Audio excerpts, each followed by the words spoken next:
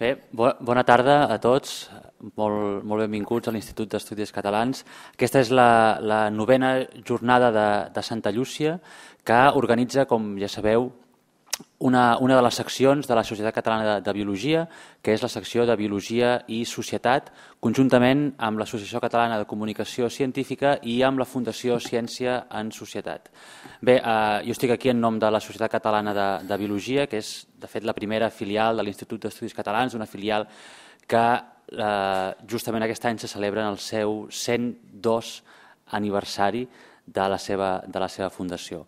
Eh, la jornada de, de Santa Llúcia d'enguany entronca amb dues altres jornades que es van fer els anys anteriors, que era una jornada dedicada a l'aigua i una jornada dedicada a l'aire de, de Barcelona, de la, de la ciutat, i aquest any, la, com ja sabeu, la, la jornada tractarà el tema dels aliments a, eh, a la ciutat de, de Barcelona amb les diverses xerrades que tot seguit ens presentarà la, la Cristina Junyent, que és la coordinadora de la secció de Biologia i Societat i que, eh, i que organitza doncs, aquesta, aquesta jornada dedicada a, a, sobretot a, als divulgadors de la ciència i als, i als periodistes científics i que per això esteu vosaltres aquí i us donem la, la benvinguda. Gràcies, Joan. Gràcies a tots per ser aquí. Com us comentava en Joan Duran, aquesta és la novena jornada de Santa Llúcia, així eh, rapidíssim. Les altres jornades de Santa Llúcia s'han dedicat a temes diversos de reconeixement entre nosaltres eh, mateixos i les darreres les estem dedicant al metabolisme de la ciutat. I ens semblava que enguany podíem parlar molt bé dels aliments a la ciutat amb totes les eh, circumstàncies que es donen entorn a aquests casos. El programa d'avui hi ha hagut un petit canvi, però vaja, respecte de l'inici, eh, comencem nosaltres fent la presentació i després sí que avancem una ponència perquè el professor Guamis ha de sortir amb urgència, vull dir que si el veieu, bueno, amb urgència, amb un cert control de temps i això farà que ell passi al davant, sigui el primer dels ponents i, i canviem l'ordre. Després ens parlarà el senyor Tejedo, que és el director general de Mercabarna, sobre els fluxos d'entrada i de sortida de l'aliment a la ciutat. No? Hem volgut enfocar aquesta jornada des del punt de vista ecològic, és a dir, entrades i sortides, flux. I per això hem convidat el, el senyor Tejedo. Després, el professor Mariner ens parlarà de la traçabilitat o de com podem anar eh, buscant l'etiquetatge, l'origen i les característiques dels aliments que arriben a la ciutat, perquè no són de proximitat, per definició. Com a mínim poden fer un recorregut, però no és, ha de, ser, ha de tenir el seu quilometratge. Després ens parlarà Elisa Garaventa de la Fundació Banc dels Aliments, perquè hem volgut... Hola, benvinguda eh, donar èmfasi a la part més social de l'aspecte alimentari i després parlaran, ja que estem entre periodistes de ciència que hi ha eh, persones que s'hi dediquen a estudiar el reflex de l'alimentació en els mitjans, doncs ens parlaran d'un recull, un estudi que es va fer sobre la seguretat alimentària en els mitjans de comunicació. Això ho farà Carme Pérez Sancho de l'Observatori de Comunicació Científica. Ho he dit tot? Sí. Doncs sense més, eh, dono les gràcies als companys de l'Associació Catalana de Comunicació Científica, que seran ells els que clouran, i sense més podem començar ja les ponències. Us preguem que eh, les preguntes, si les podem guardar totes per al final, llevat, sí, doncs els dos primers ponents els hi podem dedicar 5 o 10 minutets si tenen alguna pregunta. Gràcies. Bona tarda a tothom. Eh, donaré la conferència en castellà perquè m'explico millor en, en castellà. Eh, bueno, eh, jo estic a la Universitat Autònoma de Barcelona, he estat eh, director de la planta de tecnologia de aliments eh, 20, 20 anys i bueno, avui sóc el director de, del parc de recerca.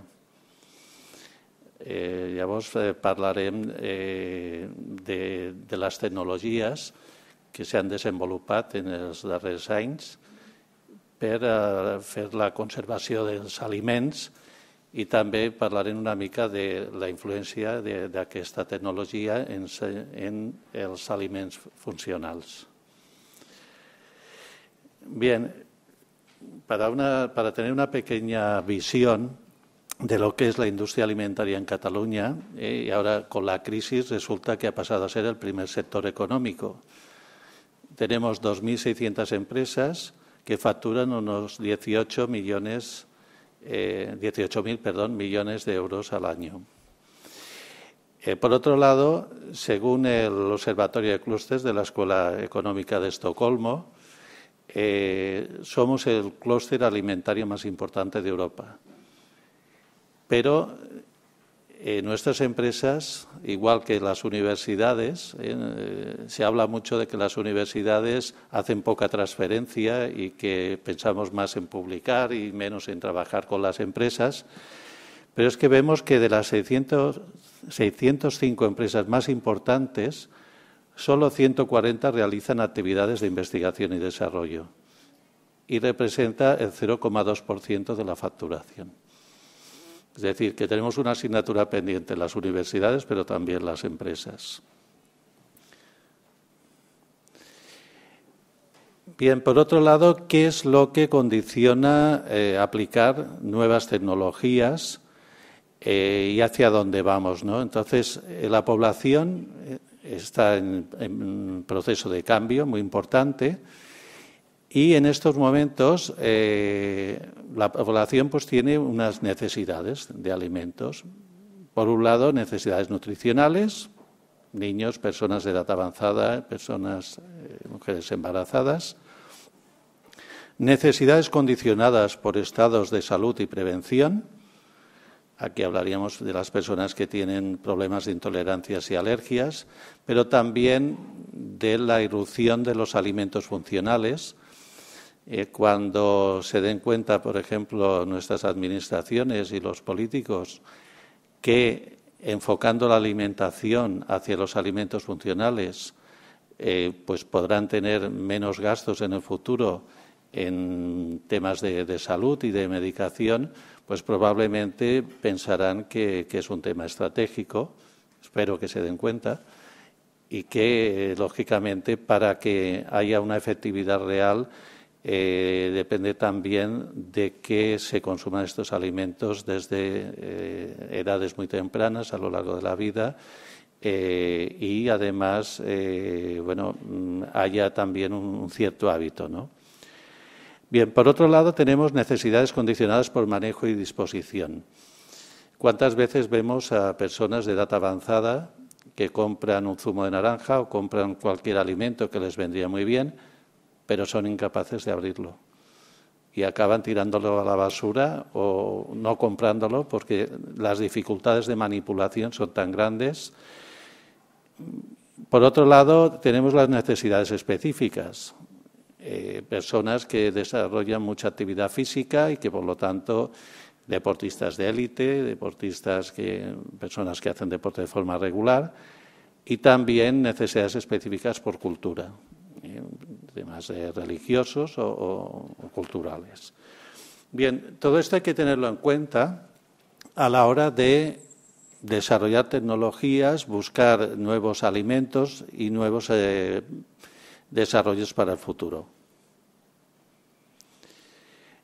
Aquí vemos, por ejemplo, que a veces eh, adecuar un alimento eh, supone simplemente innovar. ¿eh? Las pizzas las conocemos desde hace muchísimo tiempo, pero sin embargo pues ha habido una empresa que se ha dedicado a innovar y ha hecho una pizza en forma de cono.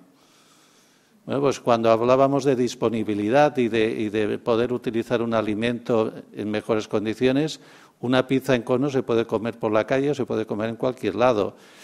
Eh, una pizza completa por la calle es un poco complicado eh, y si acaso pues iremos a un sitio y nos cortarán un trozo de pizza, pero se nos irá cayendo. Bueno, pues hay empresas que tienen una visión y que realmente eh, aplican unas tecnologías que modifican el procesado en parte de, la elaboración de la pizza, buscan unos sistemas de envases más adecuados y por lo tanto pues, eh, abren nuevas posibilidades en el mercado. ¿no? Aquí tenemos también una serie de, productos que eh, han sido desarrollados en los últimos años y que, eh, bueno, algunos son innovaciones sobre productos existentes y en otros casos son productos nuevos. La quinoa pues ya se está introduciendo y la veremos evolucionar muchísimo en el mercado en los próximos años con productos derivados de la quinoa, como fue la soja en su momento, pues eh, licuados de quinoa, yogures de quinoa y toda una serie de, productos. Bien, eh, cuando hablamos de nuevas tecnologías, primero tenemos que hacernos la pregunta ¿por qué son necesarias las nuevas tecnologías? Realmente ¿Necesitamos eh, nuevas tecnologías o lo que tenemos ya es suficiente? Bien, por un lado, eh, lo que influye en el desarrollo de esas nuevas tecnologías es la demanda creciente de alimentos similares a los frescos, naturales, de buena calidad, con seguridad garantizada y de valor nutricional intacto. Si nos fijamos en las tecnologías tradicionales, sobre todo las que aplican calor, en muchos casos el alimento sufre una serie de modificaciones y pierde valor nutritivo. Por lo tanto, estas tecnologías buscan evitar los problemas que puede haber con los procesos tradicionales, además de mejorar la calidad del alimento. También eh, en estas nuevas tecnologías influyen nuevos conceptos como la huella de carbono, la huella hídrica, es decir, que aminore el consumo de agua en la industria, que, consuma menos energía, que haya menos vertidos de, CO2 y, por lo tanto, eh, también eh, la evolución que ha tenido la tecnología en los últimos años, pues ayuda a que esas nuevas tecnologías se puedan desarrollar mejor. Bien, dentro de lo que consideramos nuevas tecnologías eh, están los nuevos tratamientos térmicos, eh, no son las microondas domésticas, sino son nuevos procesos de microondas que producen calentamiento eh, de forma continua en alimentos líquidos, por ejemplo, o que se aplican directamente en túneles para descongelación o para procesado, cocción de alimentos. También hay nuevos tratamientos químicos, el, envasado en atmósferas modificadas, por ejemplo, o la aplicación de, ácidos orgánicos que proceden de fermentaciones, diríamos, dirigidas, pero de tipo natural, y que estos ácidos orgánicos pues, tienen un efecto también de conservación y de inhibición de bacterias que habitualmente pues, pueden deteriorar alimentos. Lo que ha cobrado más importancia en los últimos años son los nuevos tratamientos físicos no térmicos. Y dentro de los eh, tratamientos físicos no térmicos nos encontramos los que aplican presiones, y ahí tendríamos que diferenciar entre las presiones, altas presiones hidrostáticas y las altas presiones dinámicas, los pulsos eléctricos, de forma discontinua en forma continua, los pulsos lumínicos, magnéticos, microondas, extracción de fluidos supercríticos, plasma y nuevo sistema de, envasado y nuevos envases. Bien, eh, hay muchas tecnologías, como es el caso de plasma, o como son los pulsos magnéticos, que se encuentran todavía en desarrollo a nivel físico, pero que todavía no tienen una aplicación directa en los alimentos. Se han hecho estudios muy sencillos que pueden demostrar que cuando se controlen esas tecnologías y cuando se puedan desarrollar a escala de planta piloto o a, escala más industrial, pues lógicamente van a tener aplicaciones. En este momento no están disponibles para eh, el procesado, diríamos, de los alimentos. Bien, yo me voy a centrar en unas tecnologías que han tenido eh, mucha importancia en los últimos años Estas tecnologías ya se están aplicando en los alimentos y además eh, con resultados muy satisfactorios. Y nos podemos encontrar ya algunos productos en el mercado que eh, han sido procesados por estas nuevas tecnologías. Hablaremos de los pulsos eléctricos de alta intensidad. Eh, no quiero ser excesivamente científico, es decir, voy a, intentar explicarme de, la forma más divulgativa posible para que lo entendamos bien. O sea, nosotros cuando vemos una tormenta ¿eh? y vemos la caída de un rayo, eh, se produce una descarga de, alto, altísimo voltaje, de alta intensidad, durante décimas de, de segundo. Bien, aquí lo que estamos haciendo es aplicar voltajes de 30.000 voltios y corrientes de alta intensidad durante décimas de segundo, pero de forma pulsante, es decir, de forma continuada, pero evitando, en muchos casos, que haya calentamiento del alimento. Porque si la solución implica calentamiento, realmente tiene más sentido aplicar una tecnología convencional, como puede ser una pasteurización o una esterilización. Bien, para ello, ¿qué tenemos? Pues tenemos unos electrodos un generador de pulsos eléctricos de alto voltaje y hacemos pasar ese campo eléctrico directamente por el alimento.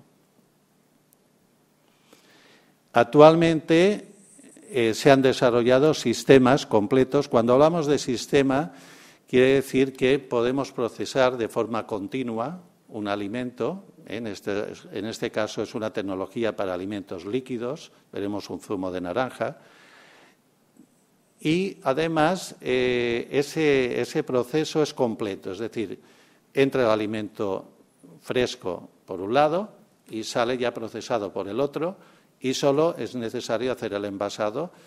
Eh, en muchos casos eh, el procesado se hace directamente en el alimento y por lo tanto después el alimento se tiene que conservar y envasar en condiciones asépticas, es decir, sin que haya presencia de microorganismos del ambiente y sin que haya presencia de oxígeno del exterior. Por lo tanto, requiere unos sistemas de envasado especiales.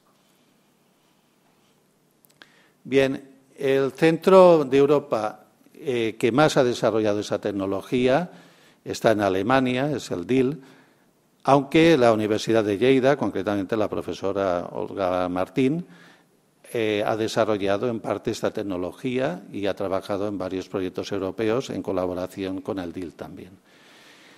Bien, eh, ¿en qué consiste el proceso? Bueno, vemos que el alimento a tratar es introducido,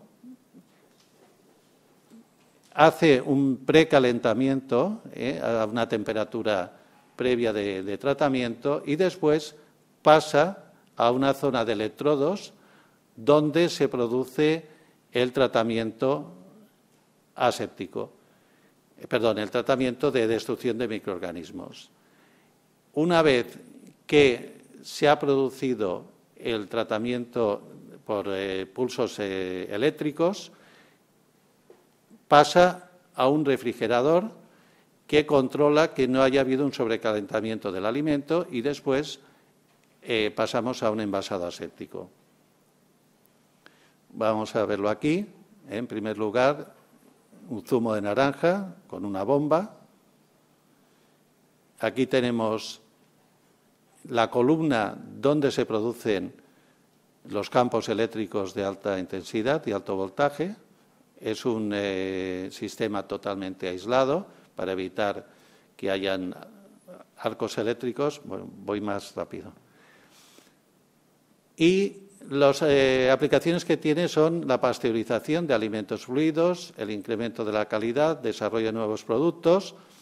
Es un sistema continuo, tiene posibilidad de envasado ultra clean, pero no esteriliza. ¿Eh? Es decir, que los alimentos eh, hay que conservarlos después en refrigeración y, en muchos casos, tampoco hay una inactivación de enzimas.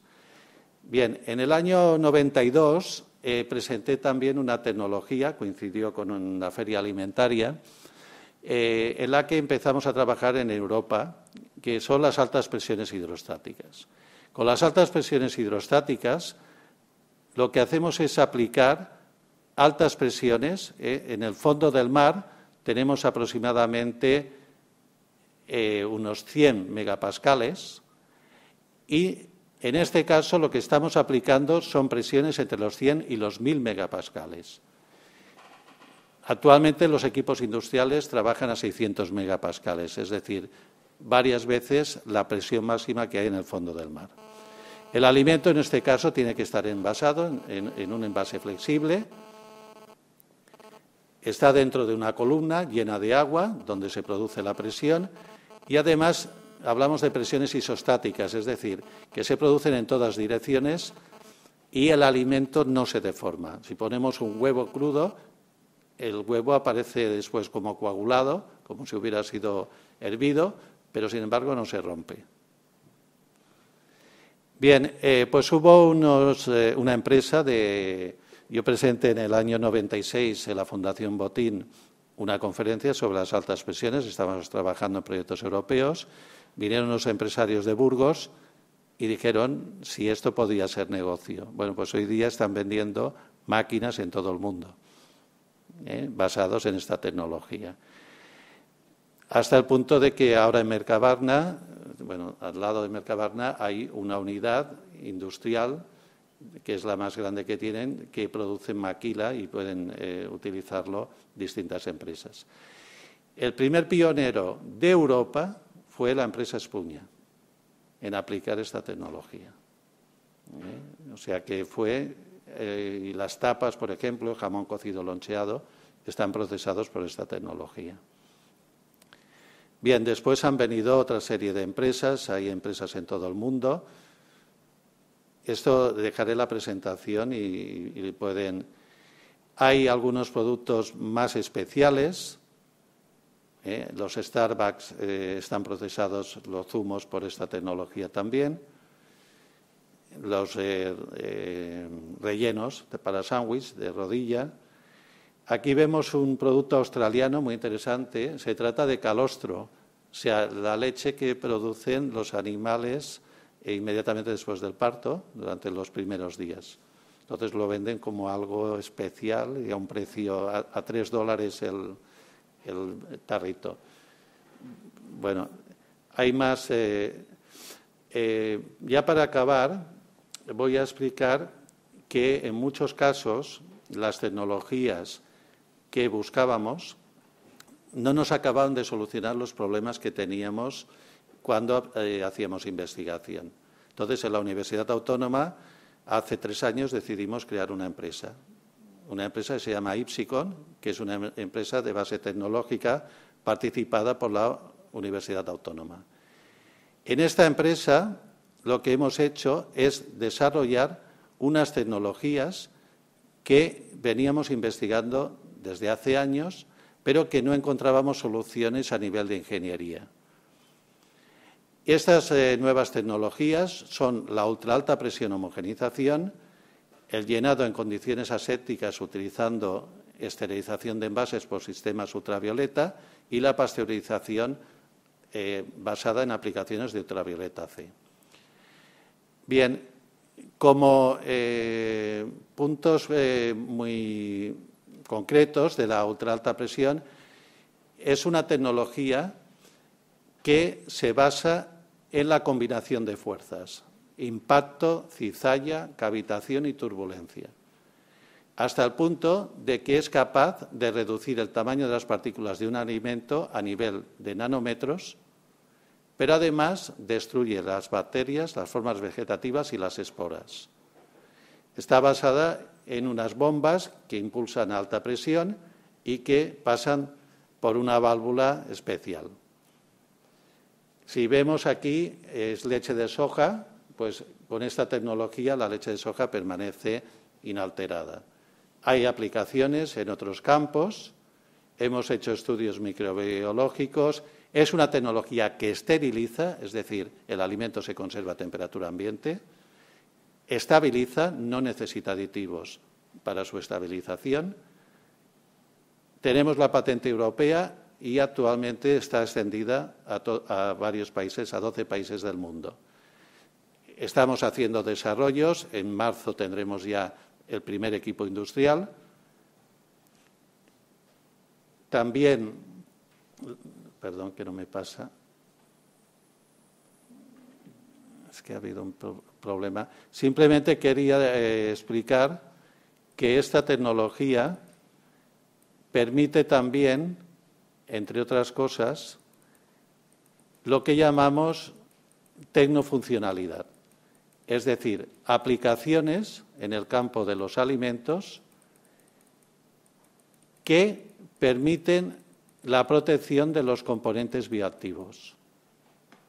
Y este es el caso de lo que podemos fabricar. Es decir, por un lado, que aquí no. Esto es toda información que, les dejaré para que comprueben entre unas tecnologías y otras. Los liposomas, es decir, podemos añadir componentes bioactivos y colocarlos en distintas fases del liposoma, siendo estables y estando protegidos de la acción de la luz y de la, la acción del oxígeno, y también las nanocápsulas. En este caso, los componentes bioactivos, que pueden tener efectos saludables sobre el alimento, se encapsulan dentro de proteínas. Entonces, con esta tecnología de la ultra alta presión homogenización, podemos hacer todas estas acciones.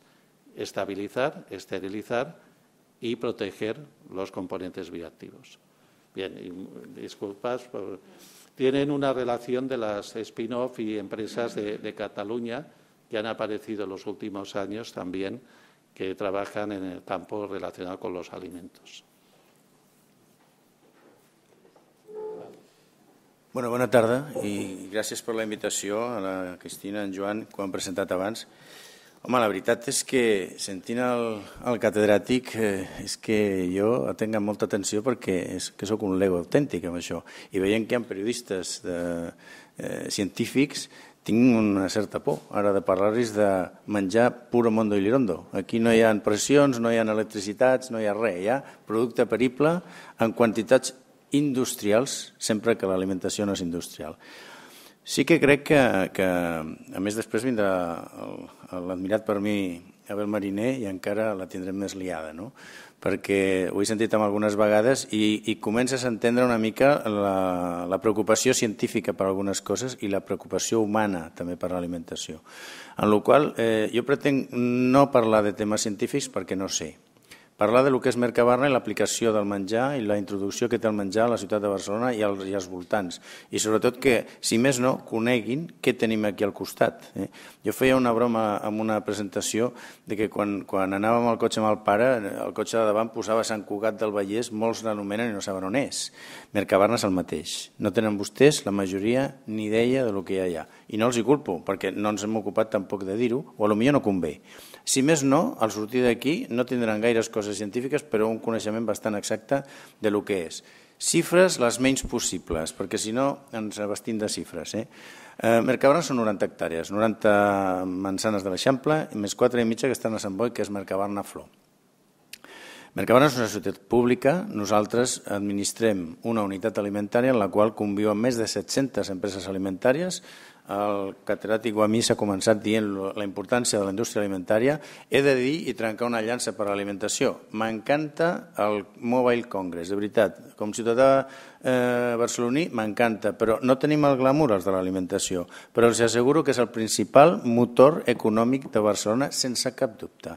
També està el turisme, que per cert comença a ser estirat per l'alimentació també d'una manera important. Per tant, ja que estem aquí, doncs ens permetem dir-ho. Què fa Mercabarna de cara, per exemple, a l'ocupament? Doncs té 6.700 llocs de treball. Cada dia 24 hores obert, 24 hores als 7 dies a la setmana, cada dia 7.000 persones venen a treballar a Mercabarna i cada dia 23.000 persones estan a Mercabarna. És a dir, quan ens veiem amb l'alcalde de Molins parlem de tu a tu. Quants tens tu? Quants tinc jo? Pues mira, hem entrat 14.000 vehicles avui.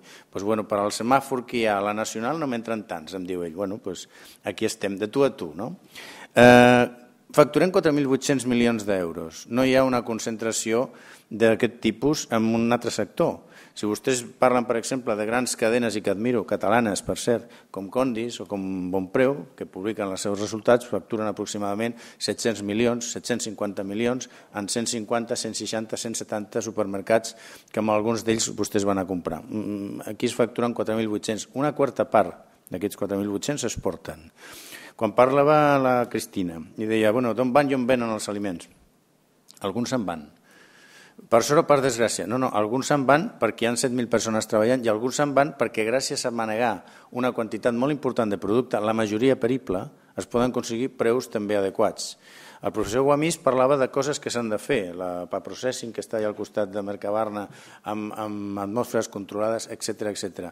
Però estem al 2014 amb una crisi, de, ja saben vostè que comença per C, i eh, el que passa és que l'alimentació té molt a veure amb el preu. Tot el que es faci perquè la qualitat no minvi, perquè la seguretat alimentària estigui, però el preu sigui com ha de ser, és bo el que s'exporti és molt bo, no només perquè eh, tenim un puesto a, al món i a Europa, sinó també perquè això provoca moure aliments amb un volum que molts d'ells abarateixen el que vostès quan van a comprar al final tenen la satisfacció de comprar més barat. Si no, pot, potser no passaria.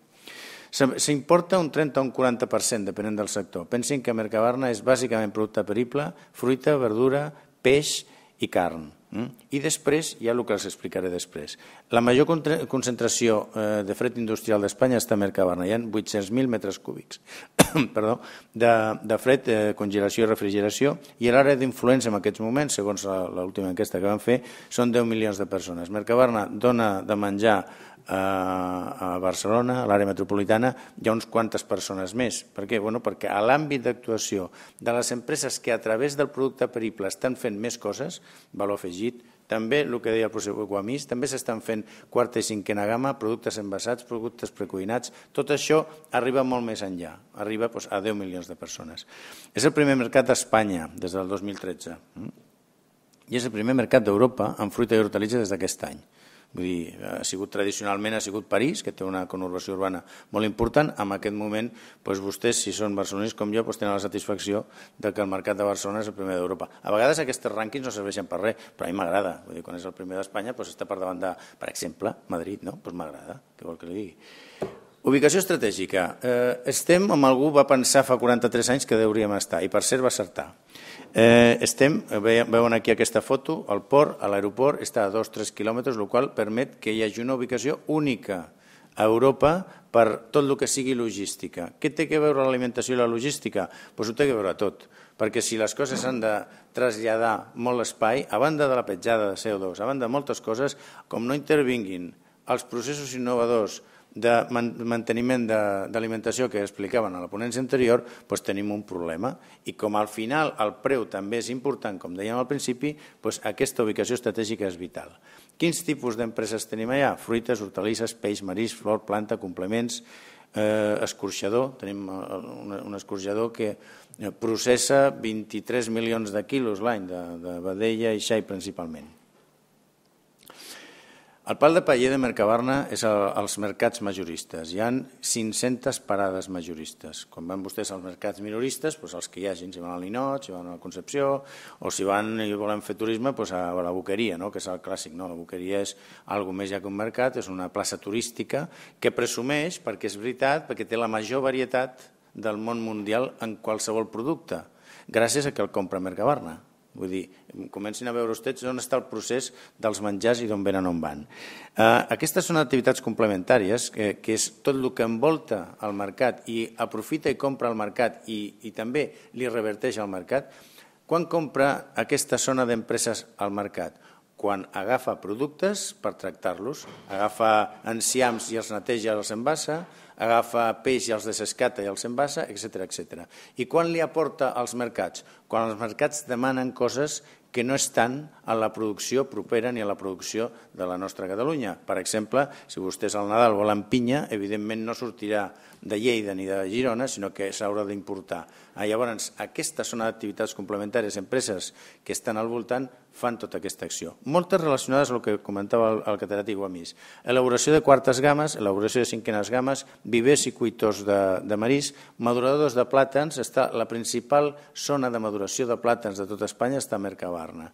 Evidentment, el plàtan no arriba en perfecte estat si no passa un període de maduració. I, evidentment, és una maduració que es força una mica. És una tecnologia no tan eh, exquisita com comentaven abans, però perquè vostès, quan vagin a comprar un plàtan, estigui al període òptim de maduració, ha de passar un procés relacionat amb el volum de plàtans que van al consum del consumidor final. I es van madurant i arriba el moment que diu demà es necessiten tantes tones, madurat que està. Uh, importadors d'arreu del món, cadenes de fruiteries, etc etc. Què es comercialitzen? Un milió de tones, no de quilos, un milió de tones. A fruites, 73.000 tones a peix, 11.000 unitats de, de flor, 21.000 tones a l'escorxador i aquestes són activitats complementàries, és a dir, tot aquest producte que no és, no és de mercat, sinó és que entra o surt amb importació i exportació, són 700.000 tones més. Tipus de comprador, tots els mercats municipals, totes les cadenes majoristes de, de fruita i verdura, totes les peixateries, totes les carnisseries, tot el que no sigui gran distribució. Qui és la competència de Mercabarna? La gran distribució, si és que ha d'haver-hi alguna competència. Nosaltres pensem que ho fem millor, però possiblement vostès van a Mercadona i a Capbravo i pues, estan en el seu dret. Jo els diria que, que hi ha millor material en un altre lloc, però és la meva obligació. Però poden triar. La, la, el que sí que és cert és que el petit comerciant, la botiga de barri, tots aquests compren les coses a Mercabarna. Les cadenes detallistes de fruteries, cadenes de distribució, sector Oreca, tots aquells que demanen, doncs, bueno, el que està passant, aquesta evolució que comentaven abans, de, de per on va la població, la població també hi ha molta més població monoparental, exigeix un envasat de productes únics, no, no, no vol una capsa amb cinc coses, vol una amb dos màxim, tot això és el que també provoca que hi hagin empreses especialitzades en tramitar, per dir-ho d'alguna manera, tota l'alimentació. No, no, no vol passar?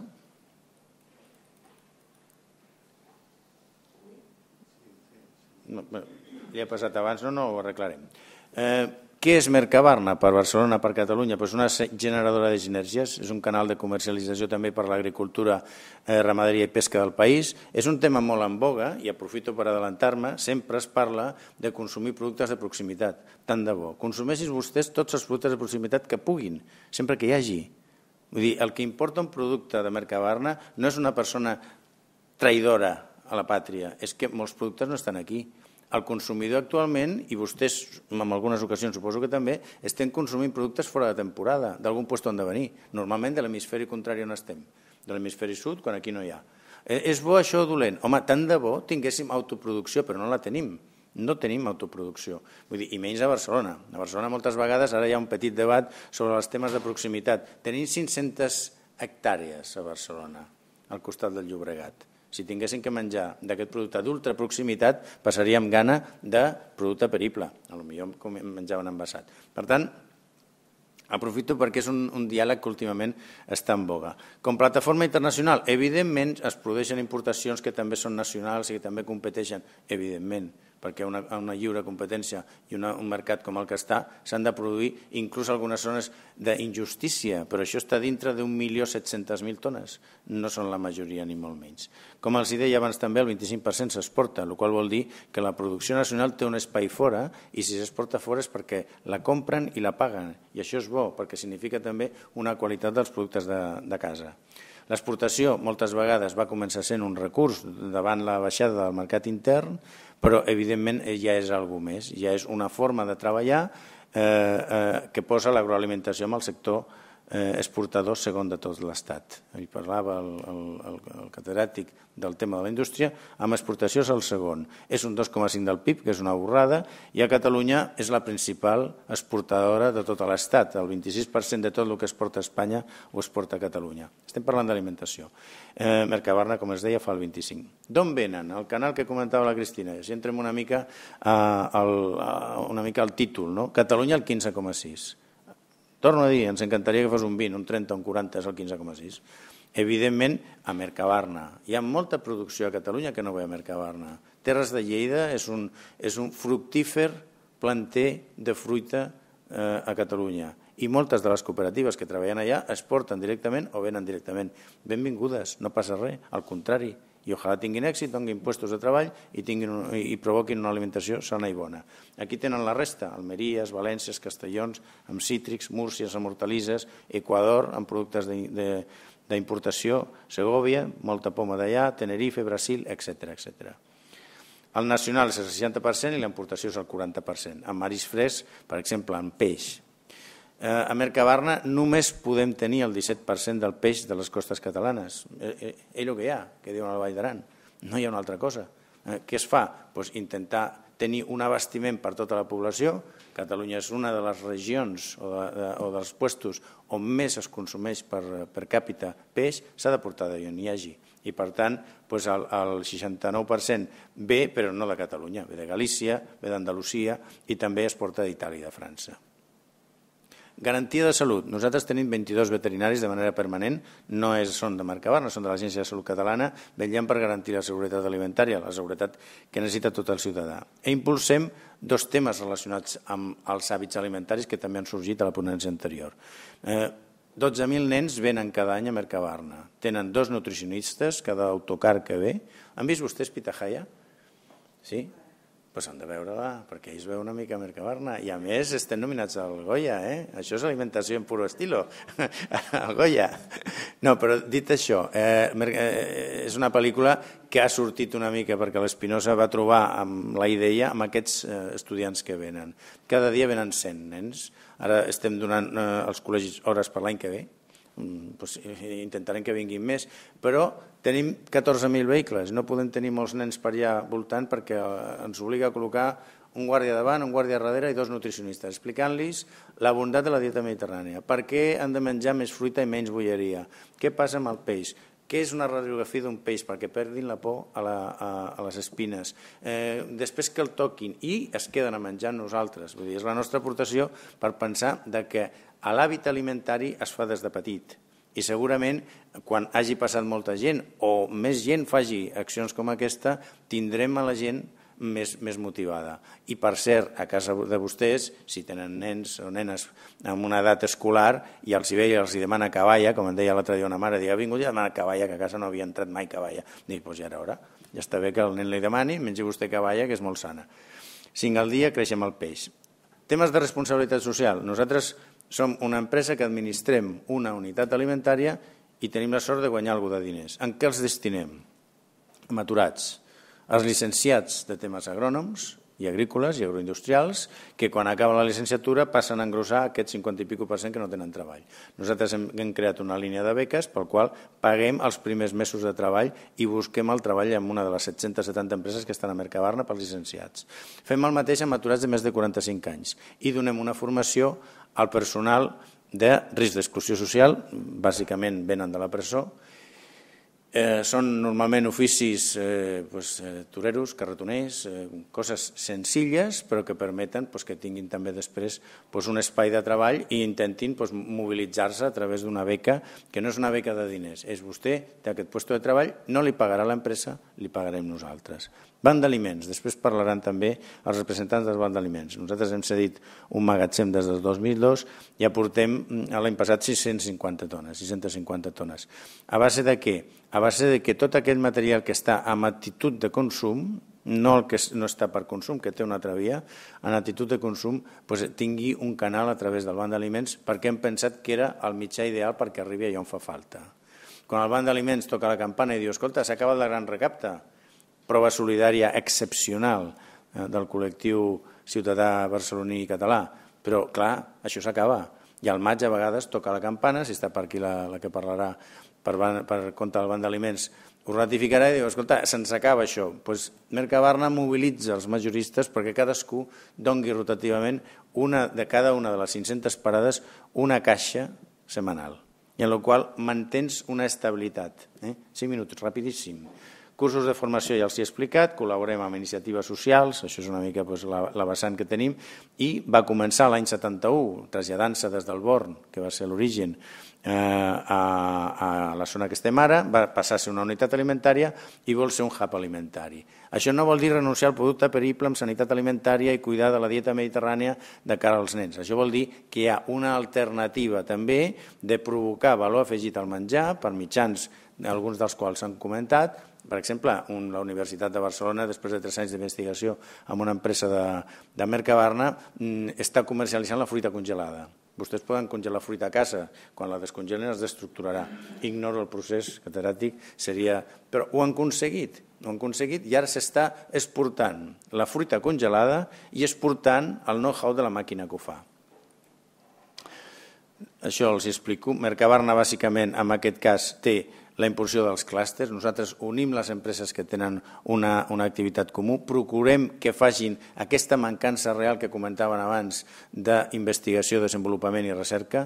Hem provocat l'acord amb el Parc Científic de, de Barcelona, on estan tres universitats fent investigació, perquè les empreses de Mercabarna puguin fer investigació allà com si fossin residents i, per tant, en temes de patata o en temes eh, varios ja estem fent investigació de millores, les que siguin, si, si entro aquí em perdo, però les estan fent.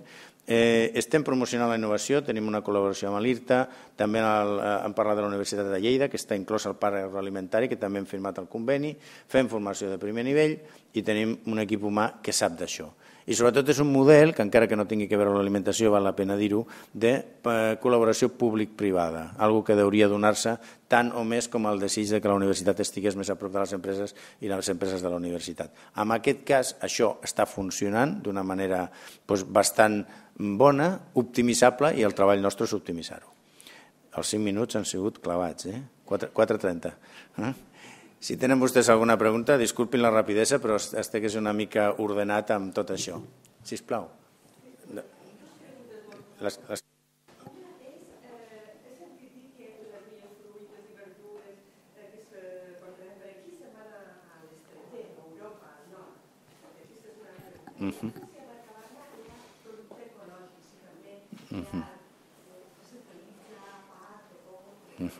Primer de tot, el bo no, no es va fora, es va fora bo. És a dir, aquí eh, eh, la competència de les 500 parades de Mercabarna és una contra l'altra. És com si vostè va al mercat de la Concepció. Eh? Si, si aquest no té un bon producte i el té l'altre, aquest no ven. Els comerciants de Mercabarna saben això i per tant no se'n va el bo. Se'n van bones coses, evidentment, però per trobar el millor de cada cosa eh, es pot trobar a Mercabarna. El millor tomàquet, el millor préssec, la millor nectarina es pot trobar. Evidentment, eh, hi ha sempre la sensació de que eh, els portants volem lluir i enviem el millor. No, no, no. El, el cas és que el que està produint, perquè aquí no parlem de productors perquè no és el nostre cas, però seria una ponència llarga i estesa, perquè evidentment són uns sofridors de la vida, eh, però també saben que han de competir. I per tant, si aquí nosaltres no donem producte de qualitat, li compren un altre. I el pitjor que podria passar és que tota Mercabarna no donés productes de qualitat i acabessin comprar els productes de qualitat fora i Mercabarna estigués en la segona divisió regional. No és el que toca. A més, eh, a veure si no la dic massa, grossa, la major possibilitat que tenen els comerciants detallistes no integrats en gran distribució de guanyar una partida complicada és tenir més qualitat. Quan Mercadona, per citar algú, acaba d'obrir el puesto 220 a Catalunya, la tenda de queviures, la tenda de fruita, la, la peixateria particular, traguen saliva. Si aconseguim que a través de Mercabarna i uns altres canals, no som els millors ni els exclusius, tinguin millor qualitat, hi ha una cosa a guanyar. Perquè per preu tornem al mateix. Per què la gent va a Mercadona seria una altra història a dir. Diuen que van perquè l'aloe vera està a un euro i mig i de pas compren fruita. Hòstia, compré l'aloe vera i vaig a comprar la fruita on hi ha fruita. No? La segona pregunta que em feia era ecològic. És un tema que s'està estenent i actualment hi ha producte ecològic no amb puestos especialitzats sinó compartits amb el normal. És un tema que acabarà creant especialització. Eh? Té un problema el producte ecològic de debò i és el preu. L'altre dia vam fer unes jornades i estaven també, eh, per exemple, al, al, al, al mercat de Helsinki. Dic Finlàndia perquè hi havia uns altres mercats, però Finlàndia sembla que són una societat molt evolucionada, els països escandinaus, després tenen un índex de suïcidis que no sé jo l'evolució per on està, però eh, la tenen, no? I ell parlava, el, el director deia, tenim un problema i és i és que vam apostar molt fortament pel tema ecològic, vam portar els enciams ecològics, 40, deia, euros, vam portar no sé què ecològic, i clar, després la gent va comprar els enciams de 0,59 que no eren ecològics. Vull dir, l'educació també fa falta, el producte ecològic ha de ser comercialment una mica més assequible, però de totes maneres avui en dia pots, pots tenir la possibilitat de vestir-te, si tu montes un negoci ecològic, amb producte ecològic exclusivament de marca Barna, si és que et convé el preu i la varietat. Gràcies per la pregunta. Més preguntes, si us plau.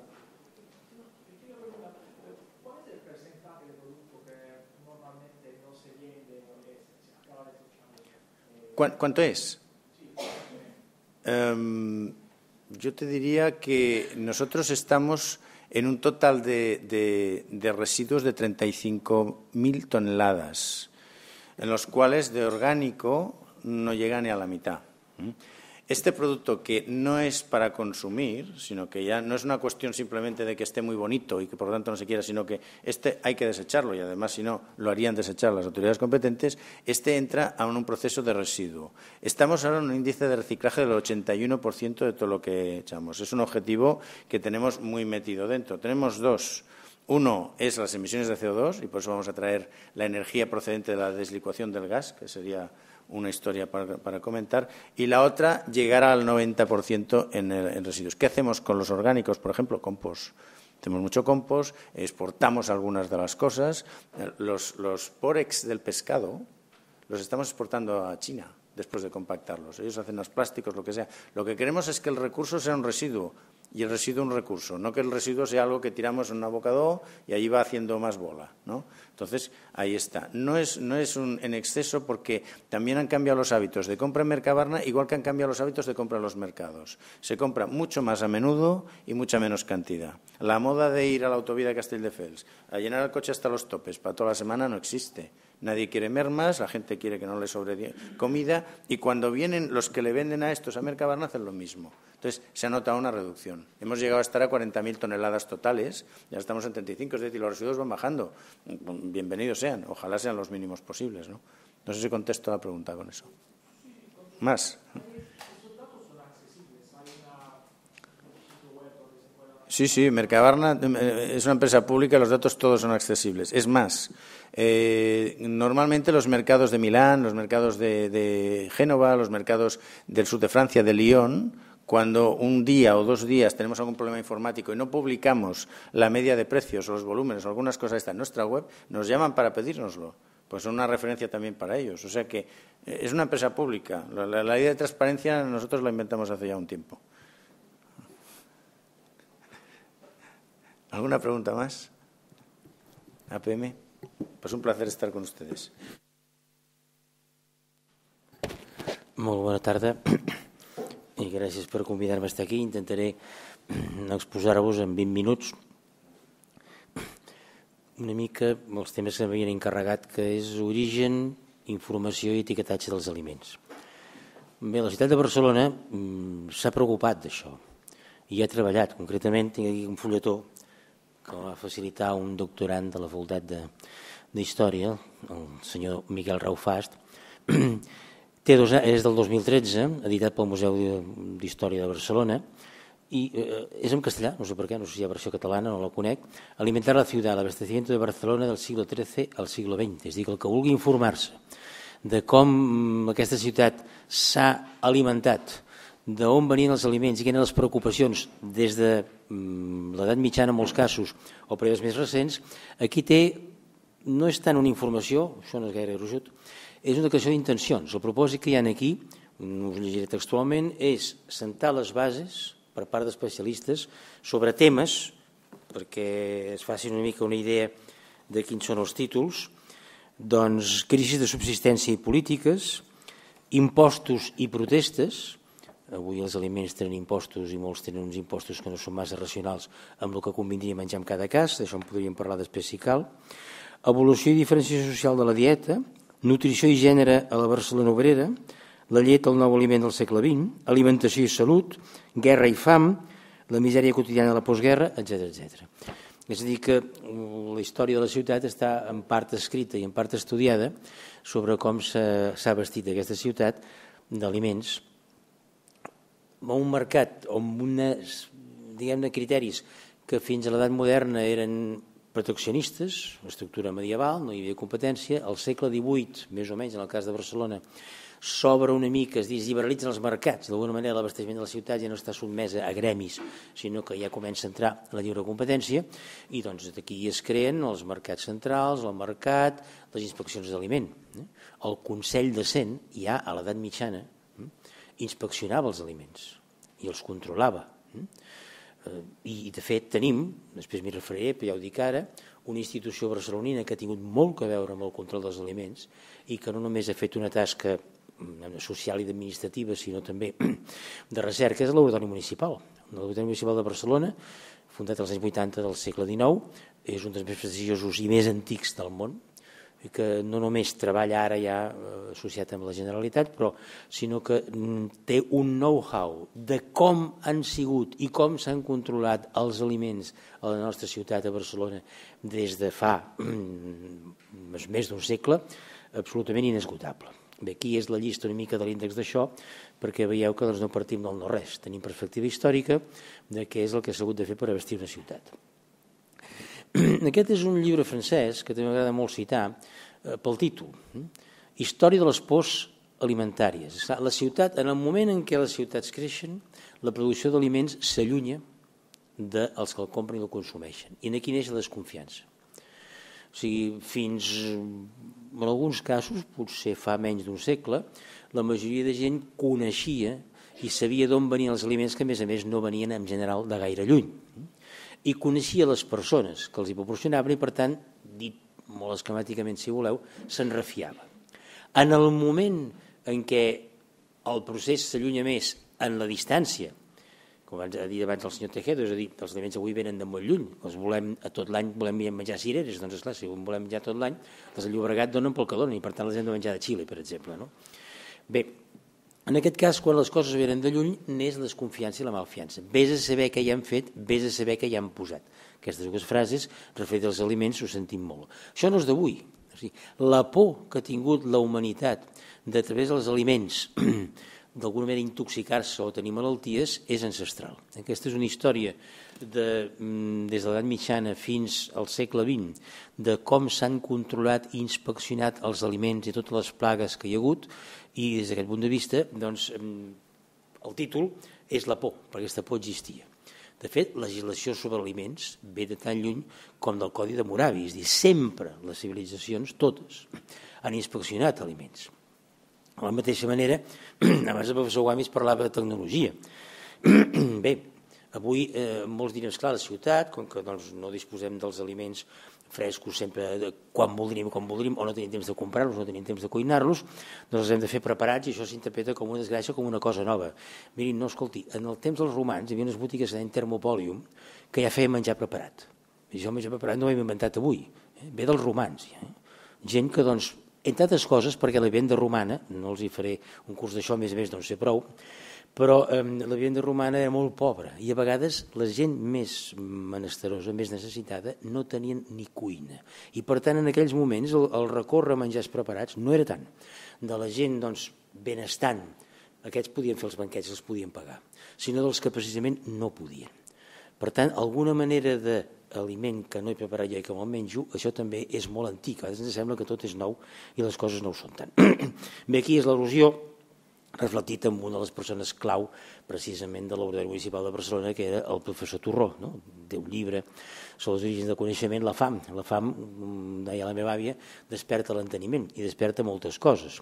Com que sé que el temps va passant i potser no tinc temps de tot, ja els anticipo una cosa sobre el tema d'alimentar la ciutat. No? Tenim una experiència molt consolidada de com es pot alimentar una població urbana racionalment i d'una manera saludable i no cara. I aquesta experiència és la Anglaterra de la Segona Guerra Mundial. Mai, mai, mai els anglesos han tingut tan bona salut com la van tenir entre l'any 40 i l'any 45, de 1900. Per què? Anglaterra és un país molt poblat i per tant és un país que no produeix ni de lluny la quantitat d'aliments que necessita.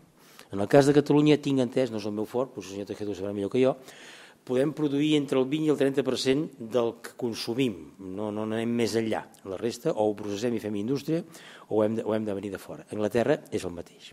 Anglaterra es, es va veure venir, evidentment, que seria assetjada per l'aviació nazi i que per tant hi hauria un bloqueig. L'Anglaterra dels anys 40 era un país científicament desenvolupat. En els anys 40 es coneixien les vitamines, algunes no se'n coneixia l'estructura, però si més no les fonts sí. Doncs bé, el racionament que va aplicar el que van crear llavors el Ministeri de l'Alimentació per alimentar una població molt urbana, una població que a més a més havia fet una cosa, un error, és fàcil ara dir-ho des del punt de vista històric, no? O sigui, Anglaterra va sacrificar la seva agricultura en gran part per la indústria. Va voler fer la revolució industrial i va destinar molts terrenys i molts esforços a fer indústria i exportar. Els aliments ja els portaran de l'imperi.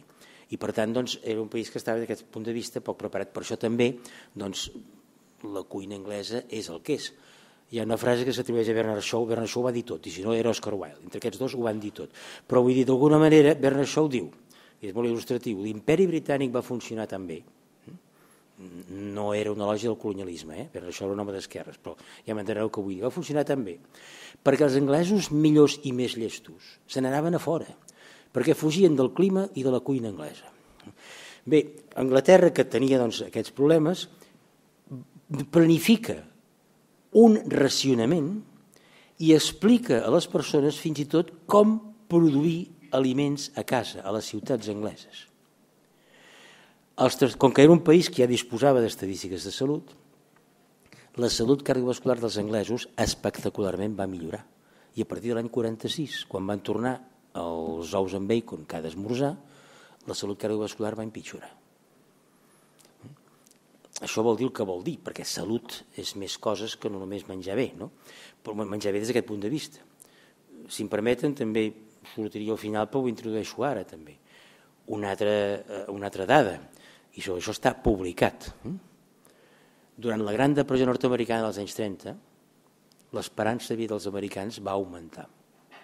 I quan vam dar, o sigui, aquells dels reims de l'ira, d'aquella novel·la de Steinbeck, aquella pel·lícula d'en John Ford, no?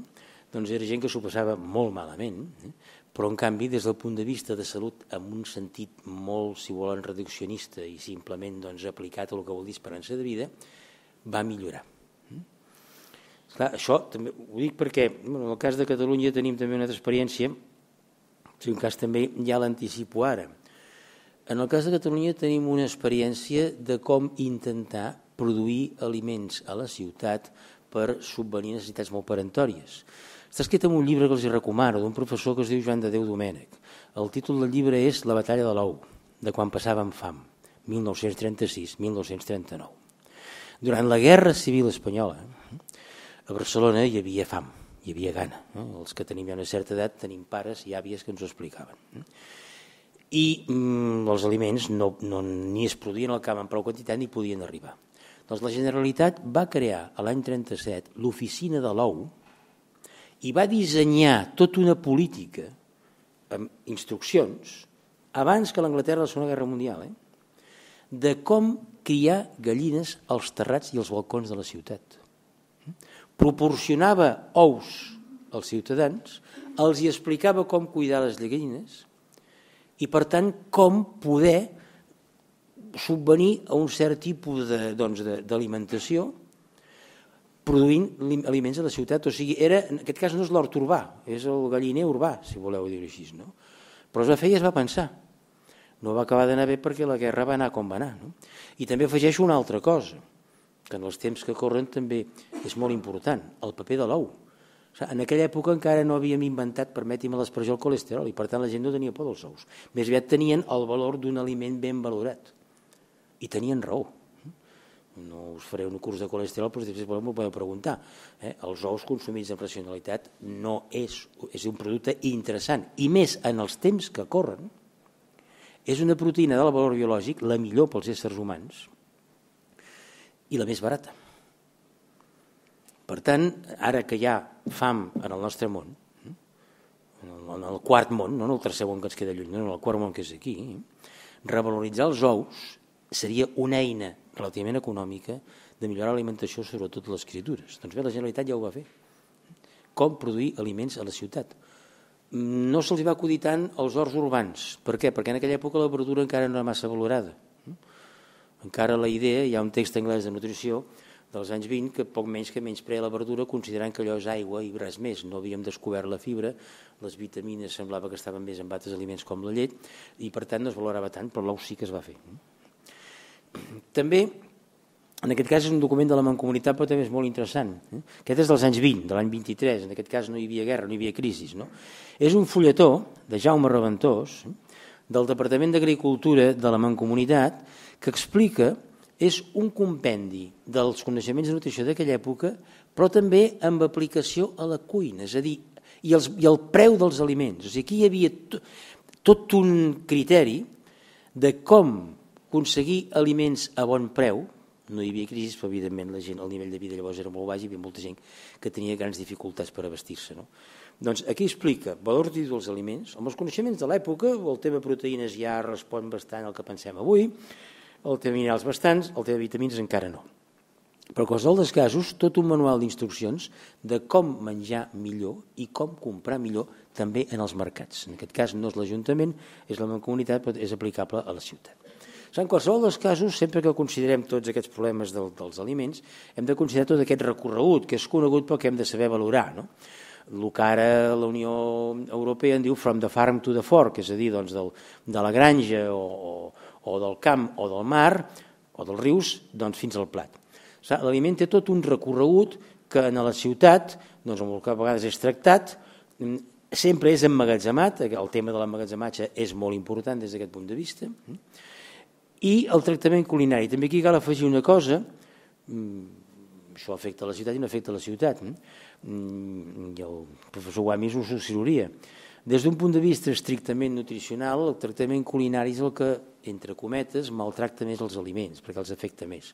Que una cosa faci xup-xup és sensacional des del punt de vista gastronòmic, però la vitamina C és la destrucció total i absoluta. I, en canvi, un tractament tecnològic on que la indústria ha de comptar temps i temperatura, perquè això és una despesa, i normalment quan estem a casa i cuinem no pensem ai, el gas que estic gastant, molts, eh? no diré que alguns, segurament que sí. No?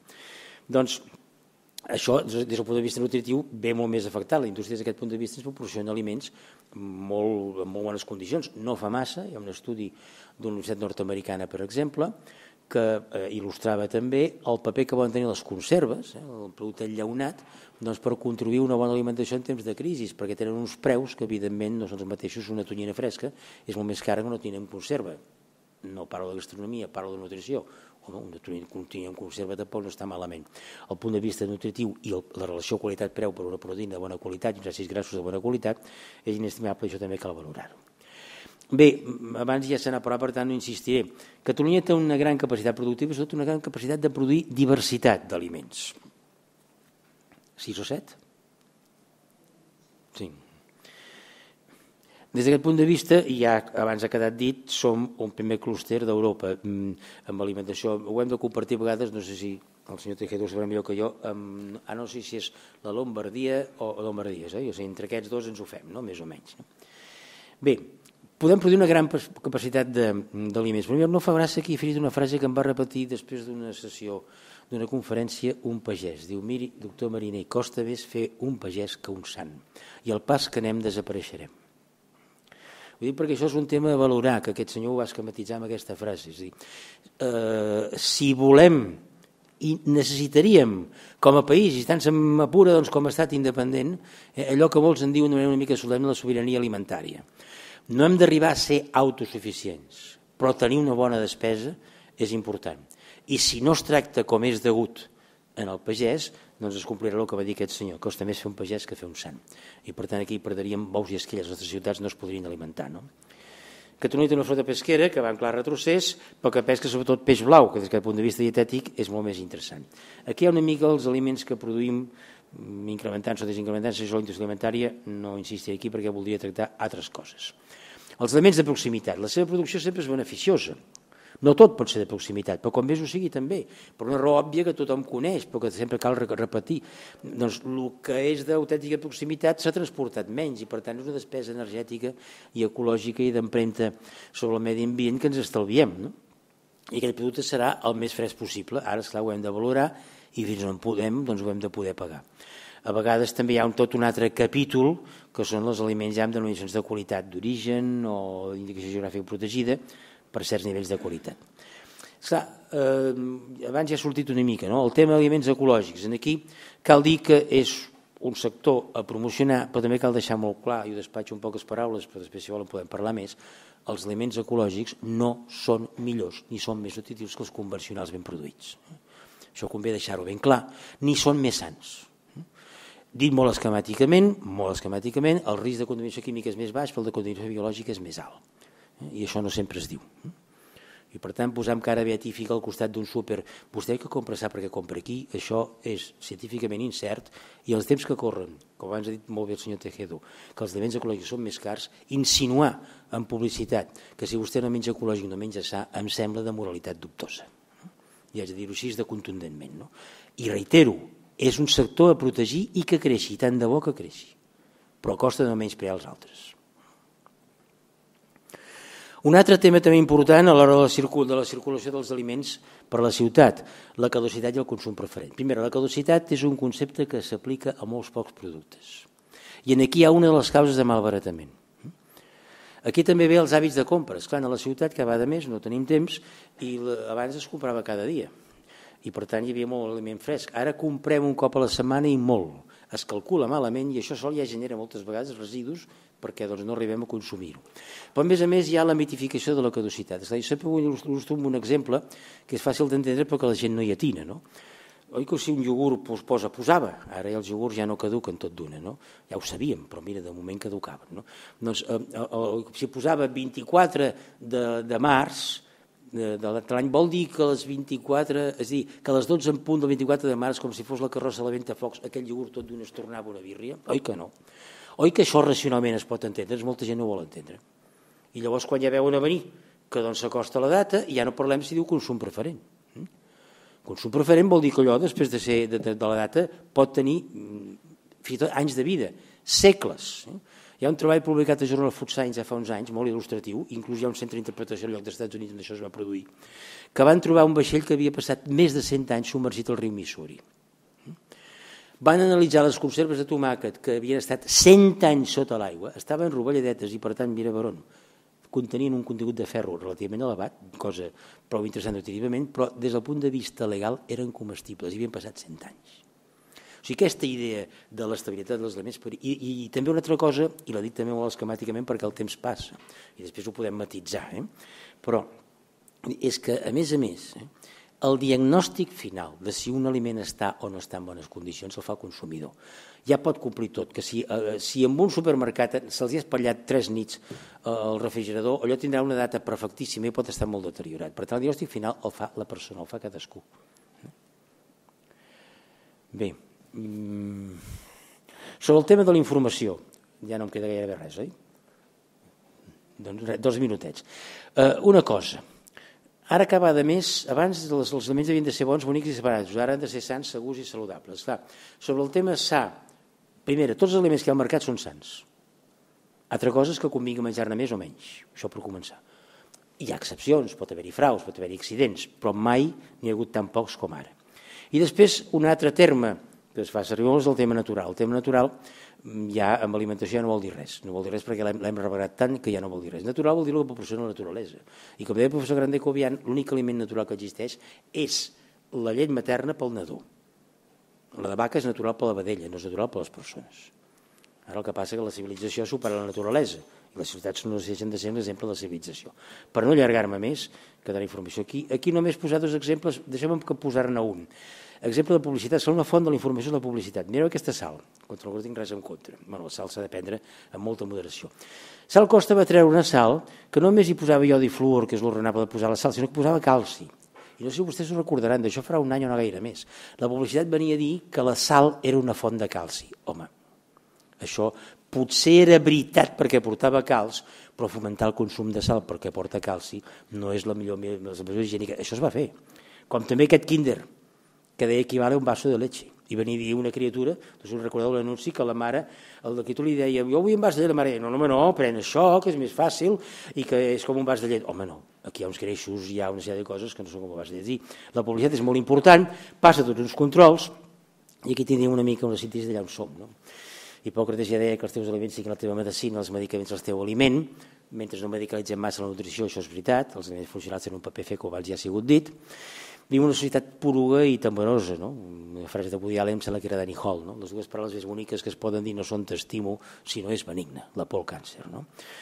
I la d'Angli, que aquesta, almenys alguns que tenim una certa edat, s'hi sentim perfectament reproduïts. Els 70 volíem ser lliures, els 80 volíem ser rics i els 90 estar sants. Ara aquesta obsessió per la salut ens ha portat massa enllà. Per exemple, ara hi ha tota una població urbana i amb això sí que us asseguro que ja acabo, només posaré una última cosa i després ja en podem parlar. Eh, ja t'ho trobaré després. És, eh, no, ara se m'ha anat al cel al cel. Què volia? El volia ser... Ah, sí. Per exemple, s'està produint un fenomen que, que em sembla molt il·lustratiu de la societat en què vivim i que es produeix més en el món urbà que no en el món rural, perquè en el món urbà potser hi ha un nivell de preocupació per la salut més gran. Avui hi ha molta gent perfectament sana que no tenen celiaquia, i això la indústria ho ha vist, eh? i ho ha estudiat, eh? que compren aliments sense gluten, perquè consideren que són més sants. Amb la qual porten una dieta desequilibrada, els hi costa més car, però fixin-se que els, els lineals sense gluten van creixent. És perquè creixen els celíacs? No, és que creixen la gent hipocondríaca que es pensa que el gluten és dolent per tothom. Mm? I, i, I per últim, simplement acabar amb aquesta frase de Peric, que és dels anys 90 però que és molt il·lustrativa. Abans em deien que el peix blau era dolent pel fetge i ara em diuen que és, que és bo pel cor. Això passava, jo ho recordo, eh? als anys 40 la gent que patia el fetge li deien que el peix blau ni parlar-ne, eh? que era dolent. Ara deien que l'oli d'oliva no tenia valor i ara em diuen que és el millor. L'oli d'oliva va deixar de ser bo quan el 53 vam firmar el pacte amb els americans i vam començar a venir oli de soja i de cotó. En aquell moment, com que aquí ens pensaven que érem els tontos de la pel·lícula, vam dir que l'oli d'oliva era una, una vulgaritat i el que havien de prendre era aquell oli. No? I després els americans, els americans, redescobreixen la dieta mediterrània i avui doncs, sabem que l'oli d'oliva és ben adient. Abans em deien que la pasta engreixa i ara en poden menjar fins i tot els diabètics. Doncs el peric treia una mala conclusió. No? Vist això, vostès creuen que haig de deixar de fumar Peric va morir d'una cosa que tenia molt a veure amb el que fumava precisament, en aquest cas concret. No? Però el que també vull dir és que a l'hora d'informar sobre els aliments des de tots els punts de vista hem d'anar molt en compte perquè les coses evolucionen. Si són massa rotuns, jo he sigut en ares de la brevetat, eh? després puc matitzar moltes coses, però si són massa rotuns la gent acabarà no creient res i llavors no ens farà cas a l'hora de què és el que convé menjar. I perdoneu si m'he allargat una mica i jo em quedo fins al final, després ja podeu fer les preguntes. Mm, bona tarda, sóc Elisa Graventa, sóc una de les voluntàries del Banc d'Aliments i en concret responsable d'alguna manera del que és el Departament de Mimbes. Eh, bueno, com ha dit abans, eh, el nostre tema no és molt científic, és molt simple, és molt de sentit comú, però sí que té a veure amb el flux d'aliments a, a, a la ciutat. Eh, el banc d'aliments us poso res, faig 5 eh, cèntims, us poso un antecedents, va néixer als Estats Units per fer aprofitar eh, o sigui, el primer mm, tema, principi fundacional del Banc d'Aliments és la lluita contra el malbaratament. I va néixer als Estats Units per aprofitar el que era el blat. Aquest blat que que era un excedent als Estats Units, o bé es transformava en pasta, en cereals o en galetes. A partir d'aquí, diguem, ja va passar a Europa i ara doncs, bueno, estem a, a, a Espanya, ja fa més de 25 anys que es va fundar el Banc d'Aliments de, de Barcelona, va ser el primer de, de tot Espanya. Llavors, diguem que dintre de lo que és el Banc d'Aliments tenim diferents formes de subministrament, un és a través de la indústria, excedents de la indústria sigui per eh, mal envasament o per tema de pes, per tema d'etiquetatge, etc. Després tenim també entrades per part de lo que és Mercabarna, amb excedents de Mercabarna, una aportació també de la Unió Europea i bueno, el que és més novedós que diguem és del que jo us vinc a, a parlar és el tema de mimbes, d'aprofitament de mimbes a través de les cadenes de, bàsicament de supermercats. Estem intentant també ara començar a però ens està siguent bastant difícil amb el tema d'hotels, càterings i restauració. L'empitjorament de la situació econòmica dels darrers anys ha fet que augmenti el nombre de persones en situació de pobresa. I el banc d'aliments cada vegada doncs, necessita més aliments i hem creat una xarxa de solidaritat alimentària. Aquest projecte eh, es porta a terme des de fa uns anys i des del 2010 amb més èmfasis encara, que és el projecte de recollida de mimbes que són els excedents alimentaris consumibles però no vendibles. És a dir, són consumibles perquè tenen el, estan en bones condicions però no vendibles o per un mal aspecte o amb el tema, per exemple, dels envasats perquè l'etiqueta estigui trencada, perquè eh, l'embalatge estigui una mica trencat, però això no vol dir que no siguin consumibles.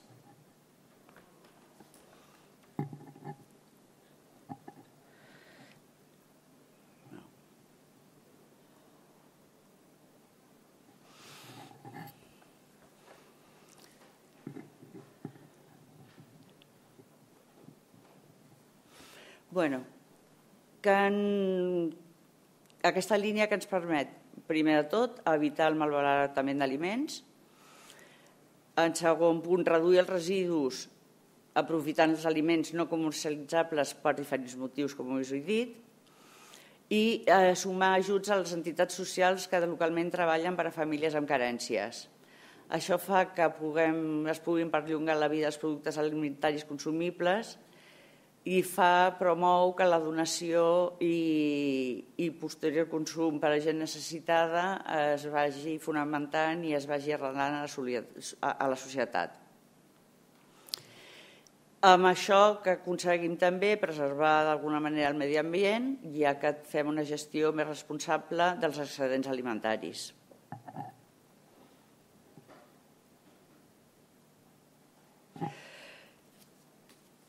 La metodologia que tenim és molt senzilla. Des del Banc d'Aliments es va idear una metodologia de recollida de les mimbes que fos eficaç i eficient per donar solució a dos objectius.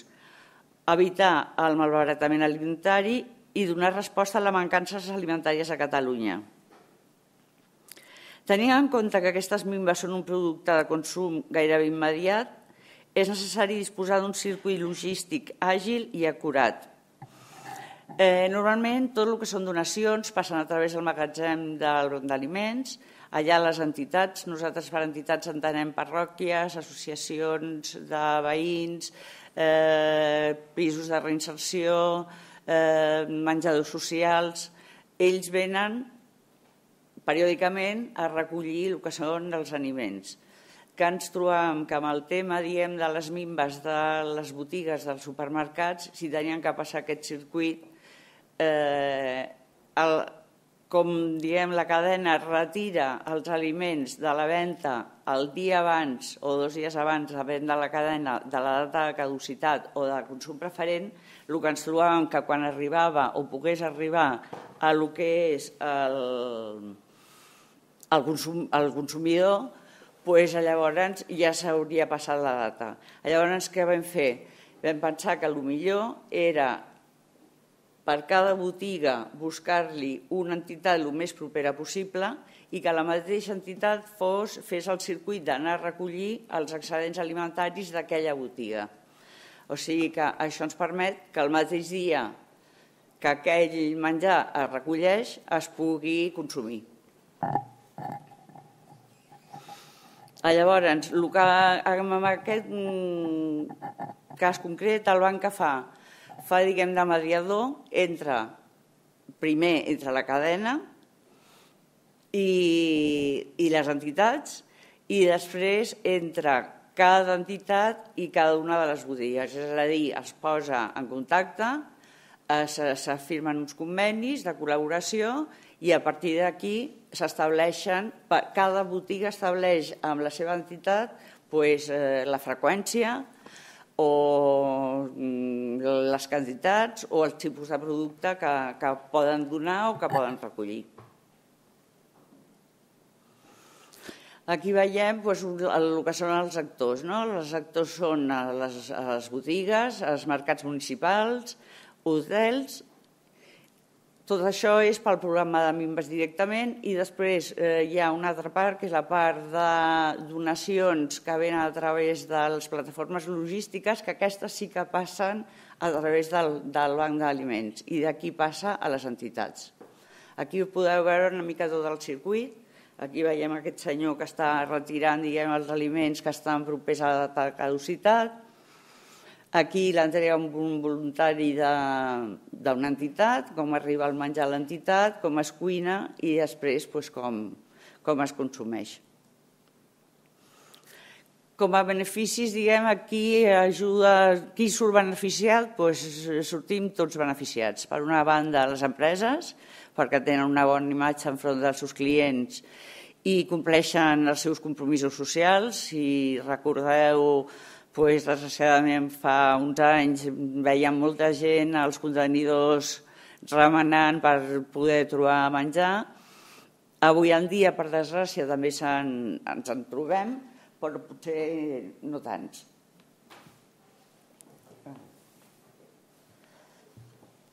el benefici al banc d'aliments que enforteix la seva lluita contra el malbaratament i la fam. Les entitats veuen augmentada la seva capacitat de distribució d'aliments, l'Ajuntament ve reduïda la seva gestió de residus, perdó,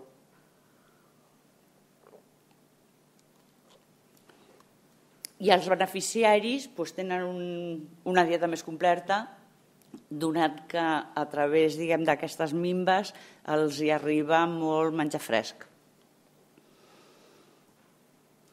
Bueno, L'any 2013, amb, el, amb aquest programa de Mimbes, però només, o sigui, sense comptar les plataformes, vam arribar a recollir 670.000 quilos. Aquest any tenim previstos, bueno, ja, ja estan assolits 767.000 quilos. Estem treballant amb eh, 500, 512 botigues, amb 428 entitats i estem arribant a 151.867 beneficiaris. Cadenes amb les que estem treballant, doncs pràcticament totes. Eh, algunes amb unes peculiaritats una mica diferents. O sigui, la majoria és com us he dit, però, per exemple, el cas de Mercadona només vol col·laborar amb, eh, amb menjadors socials. És a dir, volen assegurar-se que aquell menjar que rep o que retira es cuini el mateix dia.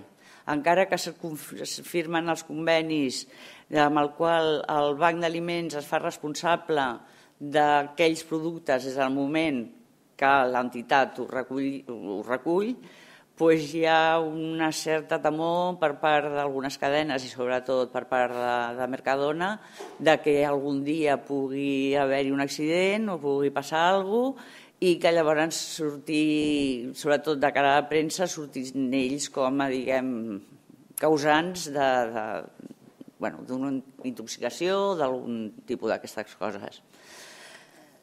Dintre del banc d'aliments, el Departament de Mimbes cada vegada va agafant més, més pes.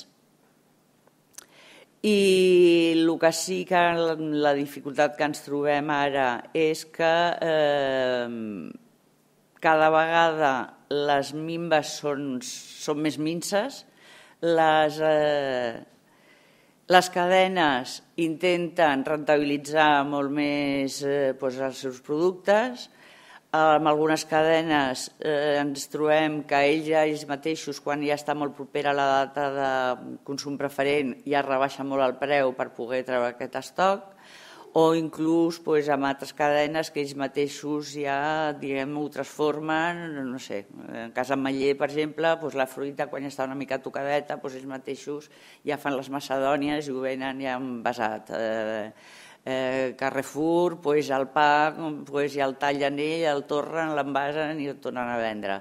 Llavors ara pues, bueno, és un moment difícil, perquè es necessita molts aliments i a més ara ens, ens estem trobant també amb el problema de,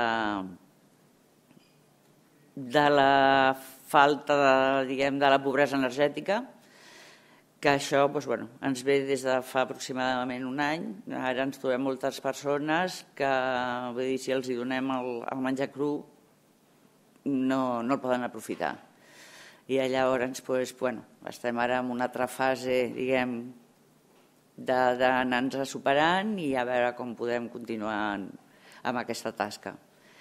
I, bueno, per la meva part, ja us he avançat abans, és una cosa molt senzilleta, és molt de sentit comú, no té res de científic, però sí que és útil i bueno, tot el que es doni a conèixer i es vagi, això va començar a Barcelona fa quatre anys, Ara ja a la resta de Catalunya aquest programa també funciona i amb alguns puestos d'Espanya han començat just aquest any.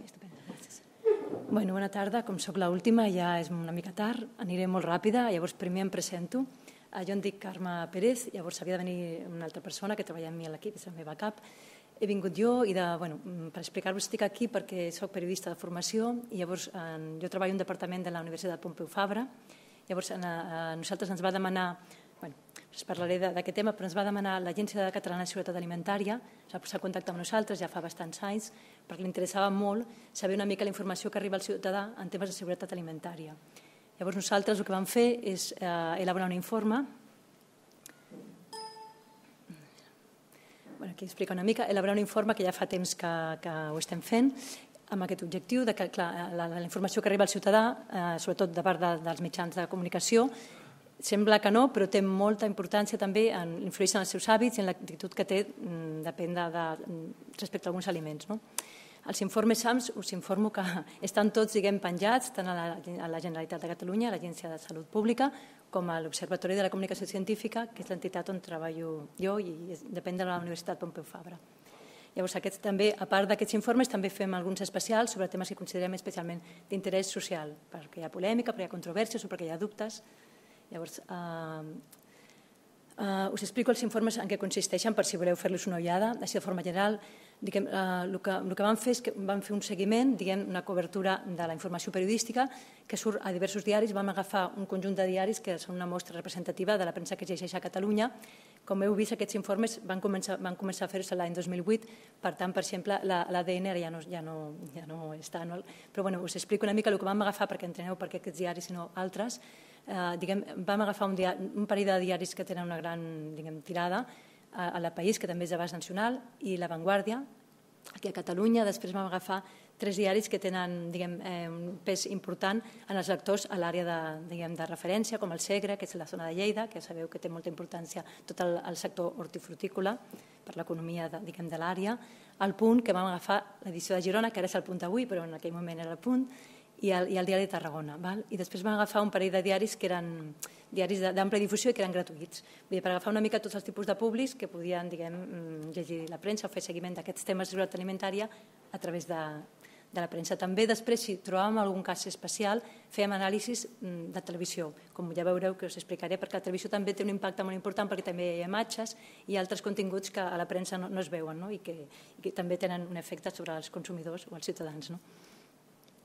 Aquí veureu una mica els casos més destacats. He agafat fins al 2011 perquè el 2012 també vam fer l'informe, el 2013 no l'hem fet per tema de retallada de pressupostos, ja no s'ha fet, però el 2012 no va haver-hi ningú cas important d'alerta alimentària o d'un tema diguem, que, que tingui repercussió en aquest àmbit a nivell de ciutadà, però mm, tota l'evolució, si veieu, hi ha hagut molts casos, no? i alguns amb més impacte que d'altres. I llavors això que veiem és el nombre de, de, diguem, de textos que es van recollir sobre el tema perquè veieu realment en tots aquests diaris que va, van ser, alguns van tenir un impacte molt important, el qual vol dir que des del punt de vista dels mitjans es consideren molt importants o realment la societat demanava informació i, i era com un continu. No?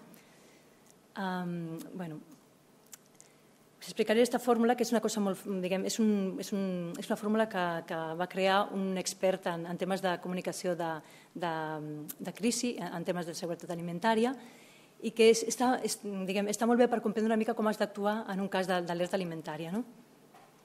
Diguem, moltes vegades eh, el concepte de percepció que tenim del risc, moltes vegades diguem, eh, és, és molt alt diguem, quan el risc realment no ho és o a l'inrevés, hi ha una sensació de, de molta indignació, de que, de que sembla que, que a, a, o sigui, a, a, el risc, o, perdona, perdoneu, o el risc és molt alt i, i, en, i en canvi tu no tens la sensació aquesta de que, de que el risc sigui important. No? Llavors, com ho has de treballar? Quan, ara veurem alguns exemples, però per exemple, quan el risc és molt, és, és molt baix, però la gent està molt indignada, el que has de fer en principi és... Eh, eh, la gent no, no està molt indignada, el que has de fer és mobilitzar la gent perquè realment eh, sí que s'indigni i perquè, i perquè també prengui precaucions o, o diguem, actuï en conseqüència per, per, per protegir-la del risc. No? I a l'inrevés, quan el risc que, que té la gent és molt, és molt alt, però realment no hi ha risc, el que has de fer és intentar calmar la gent. Clar, com, com l'has de calmar? Pues, el que has de dir, sobretot en els casos d'alerta, és reconèixer, per exemple, errors, assumir responsabilitats i donar informació que realment sigui transparent i verídica. No? Com ha passat a casa de l'Eula no té res a veure, però ho he vist. No? Vull dir, quan la gent no assumeix la responsabilitat o no dona informació que ha de donar o diu que tot està controlat i no està controlat, és molt pitjor no? de cara al consumidor. Llavors, um, hi, ha, hi ha tres conceptes que també també s'han de donar, tenir molt en compte, sobretot si, si sou periodistes o si heu treballat alguna vegada en temes de gestió d'alertes alimentàries, que eh, es diuen l'agenda setting, el framing i l'experiència prèvia. Us explico una mica um, què consisteix. Uh, el tema de l'agenda setting és que hi ha temes que moltes vegades es considera que són notícies i altres que no. Però la, la raó de per què són notícia o per què no podria ser discutible. No? Moltes vegades jo com a periodista veig informació que donen i dic això és notícia realment, això no és notícia, perquè es dona prioritat a uns temes, perquè es fa seguiment d'uns temes i d'altres no. no? Bueno, jo he posat aquí alguns exemples. Gràcies. Actualment, per exemple, de l'últim que ha sortit aquesta setmana, doncs que recordem? El Banc dels Aliments, bueno, la recapta, que ja ens ve diguem, de, del novembre, però bueno, és un tema que ha tingut bastant, sempre té molt impacte perquè és, és, és, diguem, té molt interès i afecta moltes persones el tema de, de, la lamentada o el tema de, de, la, de la malada que li han donat el Premi de la, de la Pau, no? Però hi ha temes, el tema de la consulta continua, no? perquè és un tema que no s'ha acabat, però hi ha temes que continuen existint, el, el de l'EULA, vulguis que no, aquí no ens afecta diguem, directament, diuen que està controlada la situació, però és un tema que es podria continuar parlant i gairebé no es parla. El tema dels desnonaments passa el mateix. El tema de, de tota la gent que està passant, diguem, la, la, la verja de, de Gibraltar. Vull dir, per què, per què passa això? No? Doncs això és molt important preguntar-s'ho perquè si dones més importància a un tema del que el té realment, pots crear, diguem, mm, la sensació de que aquest tema és molt important quan realment mm, no mereix tanta, tant, tant, diguem, tant impacte no, als mitjans. Això també és important perquè el framing és com s'enfoquen els temes. Per exemple, quan es va parlar d'un cas concret de la grip porcina, eh, va ser una grip que va ser una soca que va, diguem, va mutar, va passar, bueno, va passar als humans, jo no sóc expert en temes científics, però sí que us diré que es va anomenar primer grip de, grip de Mèxic i grip porcina. Llavors, aquest nom, quan la gent ho comentava, els periodistes, a la premsa, als mitjans, o es parlava, el primer que et venia al cap que era, pues, evidentment, el porc, no? i això era, era dolent per tot el sector ramader perquè en, en principi diguem s'associava quan en realitat no estava associat al consum de carn de porc. No? Llavors, en aquest cas es va actuar molt bé i es va actuar amb molta coordinació perquè el que van fer les autoritats és directament canviar-li el nom. Primer la Unió Europea es va posar d'acord, tant diguem, amb, amb el que era l'administració, amb els mitjans de comunicació, amb el sector científic, etc. Llavors hi van canviar el nom i van posar Grim Nova. Com a mínim ja no associaves al porc, no? I després ja l'OMS va donar el nom nom exactament del, del virus que, era, que, que, que la provocava, no? El tema del framing, el mateix. Quan diem clonació, quina imatge us ve al cap? Clar, per aquí diuen l'oveja d'oli, no? És el primer que ens ve. Per què? Perquè aquest tema va tenir molta repercussió, li van donar molt de pes perquè era el primer animal clonat. Però després va quedar la cosa entre que la Dolly va morir no sap molt bé per què va morir. I ningú sap molt bé si realment... Clar, va quedar com el misteri, no? Que van dir que va morir d'una malaltia que era molt comú a les... Bueno, no m'explicaré, però en, en, en les ovelles, però després veu que va morir sis anys, diguem, als sis anys, que en realitat és un període Clar, no, no s'ha aclarat la cosa, no? però aquí ha quedat el tema i així la col·lecció la gent també ho associa, et crea com unes imatges. No? La crisi de l'E. coli, eh, més coneguda per, algú sap el nom popular, aquí, les cogombres, clar, i l'imatge de la cogombra, eternament forever, quedarà Clar, I ja no expliquem quan ja van sortir les imatges d'alguns de, de les autoritats menjant-lo. No? I això, diguem, el mal ja està fet, és a dir, en el sentit, per exemple, de les cogombres, que després us explicaré, i a més hi ha un vídeo que, que us ensenyaré, aniré molt ràpida, que quan ja associes un, un risc a un producte, llavors et queda. I encara que després intentis que això no passi, doncs ja la gent està una mica com, com en una actitud de prudència respecte a, i s'ha d'anar molt de compte. No? Jo no sé si, per exemple, us explicaré un cas així molt ràpid també, no sé si us recordeu, la OCU va fer, va fer públic un informe sobre, sobre la qualitat, la relació qualitat-preu de, de la llet. I, va, va fer, o sigui, I el que va publicar l'informe era un rànquing, en realitat no és la manera millor de, de fer aquesta valoració, un rànquing de les marques que es venien al mercat, dels diferents tipus de llet, no? posant exactament el preu, el nom i quines estaven diguem, en la relació qualitat-preu millor posicionades i quines pitjor. Què va passar? Que tothom ho mirava, va tenir bueno, a Twitter, em sembla que va ser trending topic, tothom ho mirava i va dir, ah, la que jo consumeixo està aquí, vale, pues ja estic tranquil·la. Està aquí, doncs demà ja no la compro. Ho dic perquè tot això pot generar molts canvis d'actituds, canvis de, de, bueno, de posicionament i té, té moltes repercussions també a nivell d'hàbits. En el cas del, del cogombre, evidentment, molta gent va deixar de menjar, no cogombres, sinó tot tipus de, de fruites i, i de verdures, perquè al principi, com no se sabia ben bé d'on venia, l'únic que se'ls va córrer és dir no consumiu ni fruites ni verdures, no, no només de, de, dels que venien de Catalunya, que és bueno, d'Espanya, sinó en general. No? Em sembla que la partida que es considerava en principi presumptament culpable venia d'Almeria, però igualment vull dir, és una actitud, és una informació que no és, no és bona, s'ha de pensar molt bé què dius, com ho dius i si no ho saps, doncs no pots dir, per si de cas no mengeu, no? perquè clar, això canvia hàbits, de consum i evidentment té, una, té una, un efecte negatiu sobre la població. No? Bueno, aniré molt ràpid al tema de la sida. Evidentment, si hi ha una campanya de comunicació, si les coses es comuniquen bé, si hi ha un canvi de mentalitat, la imatge que tenim ara de la sida és aquesta, quan als anys 80 era una altra. No? Llavors, això, aquí hi ha hagut un, un treball, no? I una, un treball molt bo de comunicació i un canvi de mentalitat, i tot això, diguem, el tema dels, dels aliments passa el mateix l'experiència prèvia, doncs el mateix és la, diguem, el que tu coneixes, el, que tu has après, la imatge que has tingut de moltes coses, doncs et fa també tenir una actitud una altra. Llavors, quan tu comuniques aquests temes, has de tenir-ho present. Per exemple, quan va passar, aquest va ser un, un problema, em sembla una partida que venia d'Ucrània, Eh, de, de, perquè es veu que estaven contaminats a l'oli de girassol. Llavors, què va passar? Va haver-hi una mica de descoordinació, en principi es va retirar el girassol, d'alguns supermercats, altres no. Què va passar? Que aquest tema ja tothom estava una mica molt, molt diguem, amb, allò de, pues, amb molt de cuidado, no? sobretot aquí a Espanya, perquè teníem el síndrome de l'oli de colza, que tothom se'n recorda, encara que hi ha més, més jove i altres, no? però igualment segur que com a mínim heu sentit parlar. No? Llavors, amb el tema de l'oli, és un tema que està com passa com els cogombres, no? era una mica està els cogombres ja ha passat, però igualment diguem, aquesta imatge doncs, va fer mal i va fer mal durant bastant temps. No? L'associació d'aquest risc al cogombre. Aquí hi ha una cosa molt important. Moltes vegades, el que es deia abans, que no us he explicat bé, perquè venia ràpid, el tema del risc. El risc moltes vegades s'infravalora i, i realment el risc és, és important i té pes.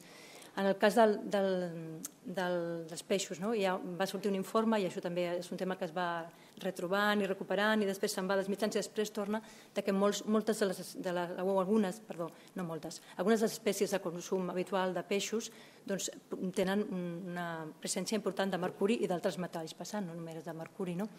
I llavors, clar, la gent, la gent això, com puntualment no t'afecta, no és visible, no tal, doncs no li dones importància, però evidentment, si, si, bueno, en el cas de... està comprovat, hi ha estudis que demostren que per, per, per als nadons o per, bueno, per, diguem, de que les mares embarassades o els nens molt petits, si, si consumeixen molt d'aquests, però si realment vas acumulant, no? aquest tipus de metalls podries acumular-se a l'organisme. El tema de les dioxines passa el mateix.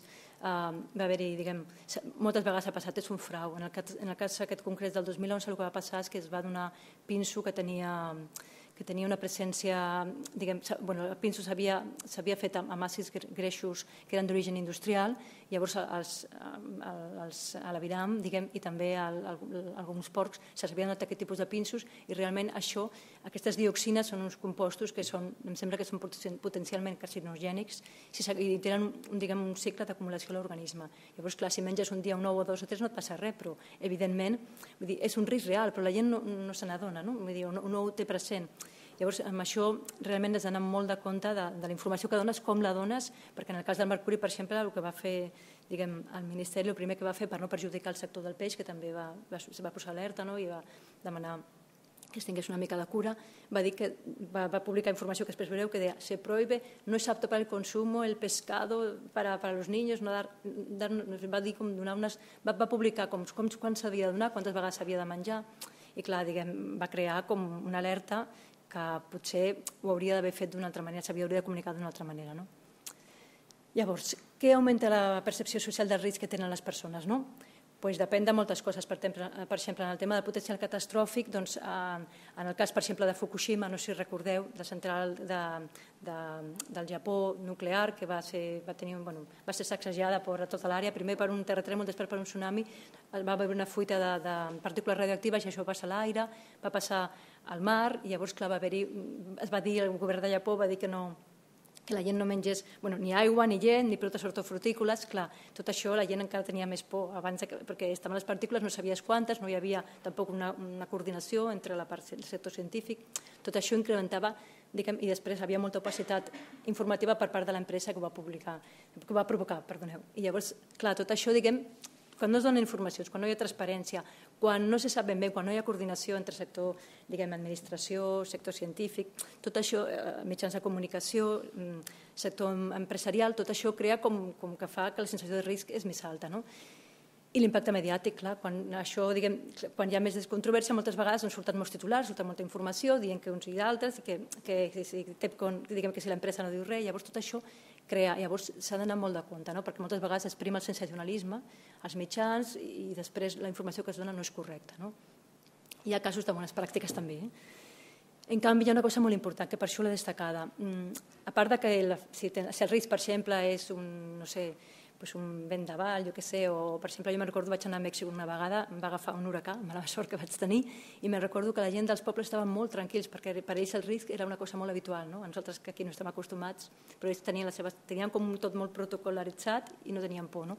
Doncs aquí el que sí que és molt important, i això s'ha comprovat, que quan a la gent li dones la percepció de que pot controlar diguem, el risc, és a dir, bueno, i no és dir no menjo res de fruita, sinó bueno, si faig això, doncs, millor el risc està que sé, en el tema de la grip, no? pues, eh, rentar-se les mans, jo que sé, coses, petites coses, pautes, si a la gent li dones pautes, això ajuda. I això moltes vegades els mitjans sí que ho fan i ajuden perquè informen, no? o agafen fons d'informació i la gent té informació de què ha de fer, què no ha de fer, que és el que sobretot la gent demana no? en aquests casos. Aniré molt ràpida. Uh, la grip ja, ja us ho he explicat, van reaccionar molt ràpid, van canviar el nom, no va haver-hi repercussions pel sector del porc, en el tema de les dioxines, eh, també, encara que pot ser comida tòxica, que d'entrada doncs, no és el millor titular, evidentment van reaccionar molt bé perquè Alemanya va ser una partida que, que es va detectar a Alemanya, de seguida es va, es va diguem, donar l'alerta, es, es va veure els, diguem, els, els on s'havien exportat i va haver una molt bona coordinació. I es va informar molt bé als mitjans de quins eren els riscos, de quins no eren els riscos, de, i tot això també ajuda, vull dir que moltes vegades els mitjans no només donen mala informació o, contribueixen, perdó, no és que donin mala informació, contribueixen a incrementar l'alarma o, o, a, o a donar informació que pugui generar confusió, sinó que moltes vegades també poden, poden ser, diguem, a més són una de les principals fonts d'informació per a la població. Vull dir que aquí hi ha molta responsabilitat tota la gent que es dedica a fer comunicació científica en temes d'alerta alimentària o de seguretat alimentària, tant d'empreses com d'institucions, com, com de mitjans, com de, diguem, hi ha un component de responsabilitat que és, que és molt important. No? Bueno, aquí simplement us, us poso alguns elements claus d'una bona praxi en temes de comunicació de, de seguretat alimentària, que és el que s'ha explicat, ja no continuo perquè més o menys ja el que s'ha comentat al punt 5, les recomanacions preventives clares i, i adients, els hàbits, no? perquè segons el que tu, per exemple, en el cas dels, dels nens, i dels, si, si, menges, si menges molt peix a la setmana, si, dones un, si dius quan es pot menjar o quines quantitats o quins peixos són els que més, més recomanables, llavors sí que, sí que la gent sap a què atener-se. No? Si dius que el peix té molt mercuri, doncs no saps quin agafar, no? pues això és molt important. Bueno, ara us posaré un, un exemple perquè com aquest, aquest, uh, el tema de la crisi de la coli va ser un dels que va tenir més impacte uh, mediàtic, perquè veieu uh, que malament es va tractar. Vale? Perquè realment, uh, des del principi, per aquesta descoordinació, fins i tot eh, nosaltres vam fer un anàlisi de, del que s'havia publicat per fer un seguiment, tots els informatius, durant l'època que va durar gairebé dos mesos per aquesta mena d'escoordinació. I també és cert que hi havia molts components que van crear, van afavorir que la crisi es prolongués i que hi hagués aquesta descoordinació. Un era que la soca era molt agressiva, no era una soca habitual, la E. que normalment provoca, sinó que provocava hemorràgia, va provocar mort, em sembla que va afectar a unes 3.000 persones o milers com a mínim i va, van, fins i tot va morir, no sé si van ser no va arribar a 100, menys de 100, però 50 o 40 sé que va morir persones també. No? I a més afectava a gent molt gran. Vull dir que era una situació, i a, i a més, a, com com no se sabia bé la causa entre els científics tal, i, i l'administració a Alemanya, que hi havia moltes entitats que havien de donar l'opinió, doncs tot això va complicar. No?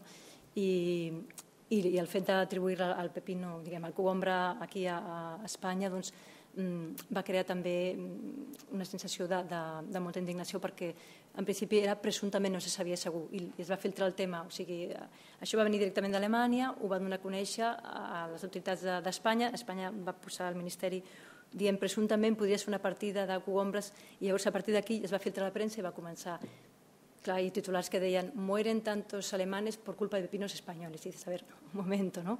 Eh, clar, vull dir, s'ha de pensar molt bé com ho dius, no? En canvi, hi havia altres titulars que deien eh, Alemanya culpa a Espanya de la infecció. Hi ha moltes maneres, no? Bueno, I veureu que fins i tot quan ja havia passat, el, el, el, fins i tot sortien, sortien imatges dels cogombres i dels sectors com imatges de recurs a la televisió quan ja no eren els cogombres. A veure si se carrega i si no faré servir l'altre.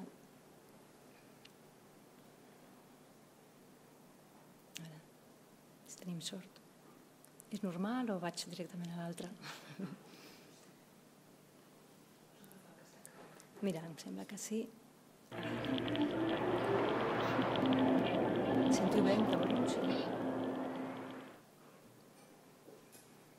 Consumers in Germany are being urged to avoid eating cucumbers and tomatoes after a deadly outbreak of the E. coli virus. So far, it's killed at least four people and affected more than 200 others. BBC, eh? A deadly outbreak of the E. coli virus has now been traced back to cucumbers that came from Spain. We have published these findings as an immediate warning. The relevant authorities have been informed and we are monitoring the cucumbers. We will remove them from the food chain where necessary. We ask the consumers not to eat them. Alemania culpa a pepinos españoles de la mireu, infección mireu que ha al provocado tres Pepinos muertos asesinos. y 600 Es muy fuerte. enfermos en los últimos días. El Instituto de Salud de Hamburgo ha localizado una peligrosa bacteria en tres pepinos procedentes Y la de manera nuestro de país. decir, peligroso.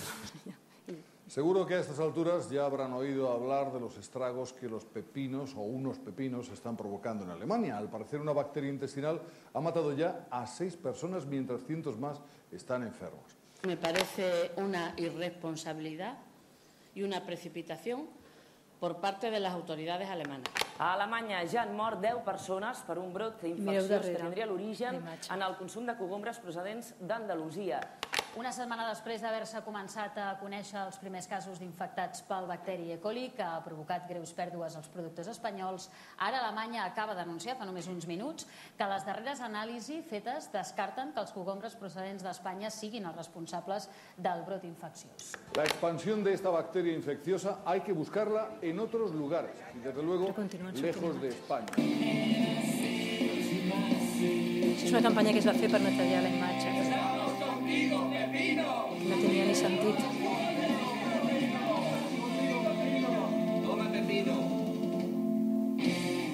El honor perdido, una expresión grata al escritor alemán Heinrich Bell. Hay que reivindicar el honor perdido de los productores de pepinos. Europa es el escenario adecuado para ello.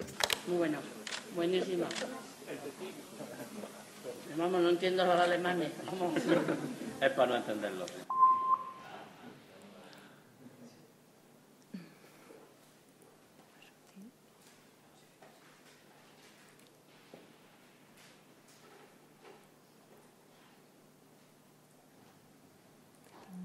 Sortir d'aquí. Per sortir-hi dono l'escape directament. Sí, això ja està. Simplement és que no sé si treure-ho per aquí, no? Per que més... Ups. Vale, gràcies. Ja torno a la meva. Sí, tornes sí, sí, però és molt ràpid ja el que queda. Gràcies. Acompanyen en aquesta taula la senyora... Ai, perdona. Bueno, sí, ja ho he vist i evidentment després per molt que intenti netejar diguem, la imatge i tot això, vull dir, no, no, et quedes per sempre. Si tot, no sé, m'atreveixo a preguntar, us en recordeu quin va ser el motiu real de la infecció de la, de l'E. coli? Algú se'n recorda? Segur que algú ho sap. Exacte, sap, perquè va ser el fenogrec, que, era una, diguem, eh, que, que venia d'Egipte, em sembla, no sé. Però evidentment, vull dir, el tema ja després va quedar clar. Aquí a Espanya, a més, el que ens interessava sobretot és que, diguem, les compensacions que es van donar perquè es van perdre milions, milers i milers, bueno, molts diners Sí, perdona, és que tinc la veu baix. Es van perdre molts diners per tot el sector hortofrutícola i després el tema es va allargar perquè, evidentment, el que s'havia de fer és compensar tant el tema de la imatge, que bueno, en aquest cas hi ha dues coses, clar. En el cas que heu vist de la, de la, de la consellera d'Agricultura de- de l'Andalusia, això de que les autoritats surtin jo menjant, com la imatge que tenim aquella de, de fa molt temps, de Fraga o del, quan es va banyar a- al riu, o per exemple la- una imatge de, de un, sempre que era el ministre, un ministre també d'Agricultura o una sèrie de temes, que menjava una hamburguesa. A, sí, exacte, a, a, a, a United Kingdom, a Anglaterra, doncs tot això no és bo. Des del punt de vista periodístic, nosaltres hem analitzat i realment, vull dir, sembla que tractes a la gent, diguem, que hi ha una autoritat que menja, que es posi davant del risc per demostrar que no és un risc, no és, no és una bona imatge, al contrari, és contraproduent, perquè diguem, que el que has de donar és informació bona, informació de bona qualitat, i el, i el consumidor és bastant intel·ligent com per saber si realment està en risc o no està en risc. Diguem, posar una, una actitud paternalista una persona d'administració representativa enfrontant-se al perill, vull dir, no té sentit. Us ho dic perquè s'han fet estudis i realment no, no funciona. Bueno, aquí són els errors, que us he comentat una, una mica, no? moltes vegades, que és el que no funciona. Bueno, mm, eh, us explicaré que en aquest últim any no hem fet l'informe, perquè per qüestió de, de pressupostos i tal no ens s'ha encarregat, però si voleu informació, l'informe RAFS, diguem, RAFS és un sistema d'alerta ràpida eh, que funciona a nivell de, de, per aliments i per pinsos, a nivell europeu, que dona informació eh, molt actualitzada, és quan en- entre els mateixos diguem, eh, estats de la Unió Europea es posen d'acord per facilitar-se informació quan detecten qualsevol tipus d'alerta. Que us dic, hi ha moltes, moltes situacions d'alertes que no són alertes alimentaris, no arriben, no? moltes coses que es detecten i que es queden al camí precisament perquè tots aquests sistemes funcionen molt bé. Aquests són els temes destacats de, de l'últim informe que es refereix a la, va, es va publicar el juny de 2014 i són els casos diguem, que fan relació a l'any 2013. Per si voleu ho podeu trobar, està penjat al web. I ja per acabar, eh, com la, això us ho donareu a tothom, a tothom perdoneu, doncs, eh, si voleu ampliar la informació, aquí teniu algunes, algunes, diguem, alguns enllaços, alguns links que podeu trobar informació. Fins i tot en aquest sistema d'alerta ràpida han, han obert un portal nou que és pels consumidors. Vull dir que qualsevol cosa, qualsevol tema, per exemple, eh, ho podeu, si, ho podeu, si has tingut un impacte o és important, trobareu també, tots aquests temes també trobareu la informació que es va publicar en el seu moment. I res més, moltes gràcies. Qualsevol cosa que em podeu voler preguntar. Doncs. Vinga, mireu-vos. Cristina. Moltes gràcies a tots. La veritat és que ha sigut molt interessant.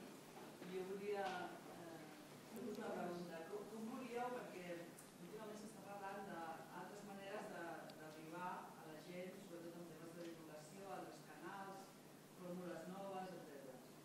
I se m'acudia ara, quan, quan estàveu parlant, de si, si, vei- si veuríeu bé utilitzar potser tècniques de la publicitat i el màrqueting perquè realment són efectius, no? Al final el que volem és que la gent estigui ben informada, tingui dades i que actuï de manera que realment les coses funcionin bé, tant eh, col·laborant o fent possible que el Banc dels Aliments funcioni eh, amb el tema de les alertes, amb el tema de la nutrició, etc etc. el que volem és que els resultats siguin positius, no? Aleshores, l'altre dia parlava amb gent de publicitat que em deien que, que evidentment la publicitat coneix molt bé els mecanismes pels quals eh, la gent funciona, ho han estudiat, i, i no sé si podríem aprendre alguna cosa, no? Deien, eh, la gent al final som molt, prenem decisions en, en termes relatius, no en termes absoluts, no? Que vaig pensar que era una bona idea, no? Allò del 99,9%, eh, 99,9 que posen els, els preus al, a les rebaixes, però també altres coses, no? Per exemple, eh, se sap des de fa molt temps que les ofertes com s'han d'explicar perquè la gent les agafi i racionalment no tenen cap sentit, però clar, com hem de discriminar i, i això ho consideren que és un dret eh, de l'evolució, perquè amb- durant els anys hem, hem après a que no podem racionalitzar-ho tot, perquè si no seria impossible, tindríem, no podríem prendre decisions amb res, doncs al final el, els humans prenem decisions molt irracionals amb, amb qüestions que fem valoracions molt relatives. No, no sé si veie, veuríeu bé eh, eh, doncs des de, jo què sé, la informació sobre nutrició, la informació sobre seguretat alimentària, el tema de que arribi tota aquesta qüestió social que ara mateix està passant, que utilitzéssim aquestes tècniques més de màrqueting i publicitat. Encara que moltes vegades als científics això no els hi agrada, però jo us ho plantejo perquè darrerament eh, es parla d'això.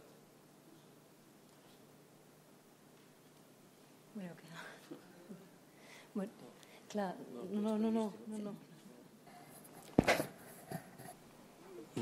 És molt important que la població rebi informació solvent. El problema és que, eh, almenys els que ens dediquem a l'alimentació, ens trobem amb una qüestió. Quan algú parla des del punt de vista científic sobre, no sé, eh, arquitectura, estructures o el que sigui, la gent normalment li fa cas perquè d'allò entén que no en sap. Però d'alimentació en sap tothom. Tothom menja tres cops al dia i té les seves idees. I per, to, per tant és molt difícil a vegades canviar opinions. Vull dir, mm, podríem citar un cúmul d'exemples, no? Els famosos transgènics. Encara és l'hora que dels que hi ha al mercat es trobi en proves que entenem científiques, que vol dir explicables, demostrables i reproduïbles, que tenen efectes negatius. Però la gent ja li ha quedat que això dels transgènics és el papo i no ho vol.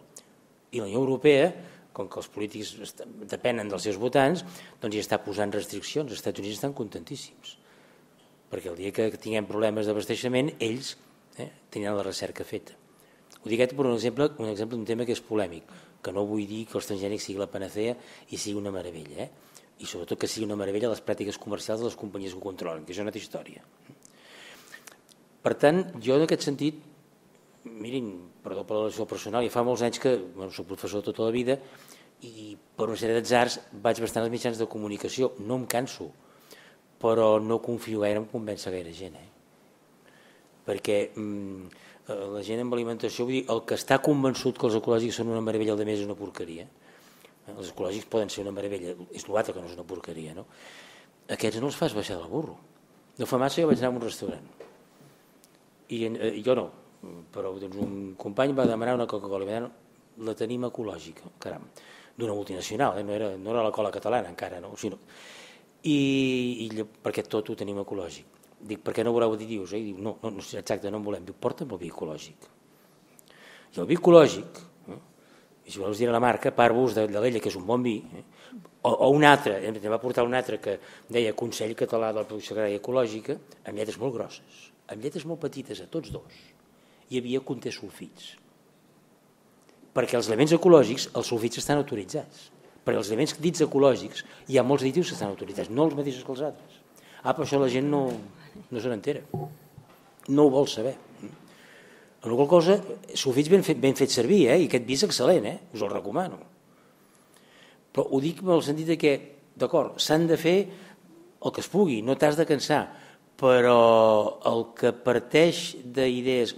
L'alimentació és una cosa molt interioritzada, la gent s'ho posa dintre. I llavors és molt difícil fer canviar una opinió. Vull dir, el que diu que la llet li senta malament en molts casos és veritat, en altres no però li senta malament. A més a més, aquí hi ha un altre component, perdoneu, potser m'estic allargant massa. En el món de l'alimentació, el món, diguem-ne, civilitzat, desenvolupat, típic, tip, diguem-ne, una mica el nostre tip, no tothom, malauradament, eh, cada vegada menys, no? Eh, la gent té la necessitat de fer alguna cosa extraordinària perquè la subsistència ja s'ha superat. O sigui, quan calia subsistir, la gent no estava per històries. Quan ja és subsistir, sinó que volem anar més enllà, llavors hi ha una mena d'instint que jo no me l'explico, potser que hi ha algun sociòleg que ho sabrà o psicòleg, de que hem de fer alguna cosa ex extraordinària, perquè l'ordinari no n'hi ha prou. I llavors és quan, per exemple, gent que apretaria córrer amb un transgènic com un additiu i en canvi fa unes dietes que són una bestiesa.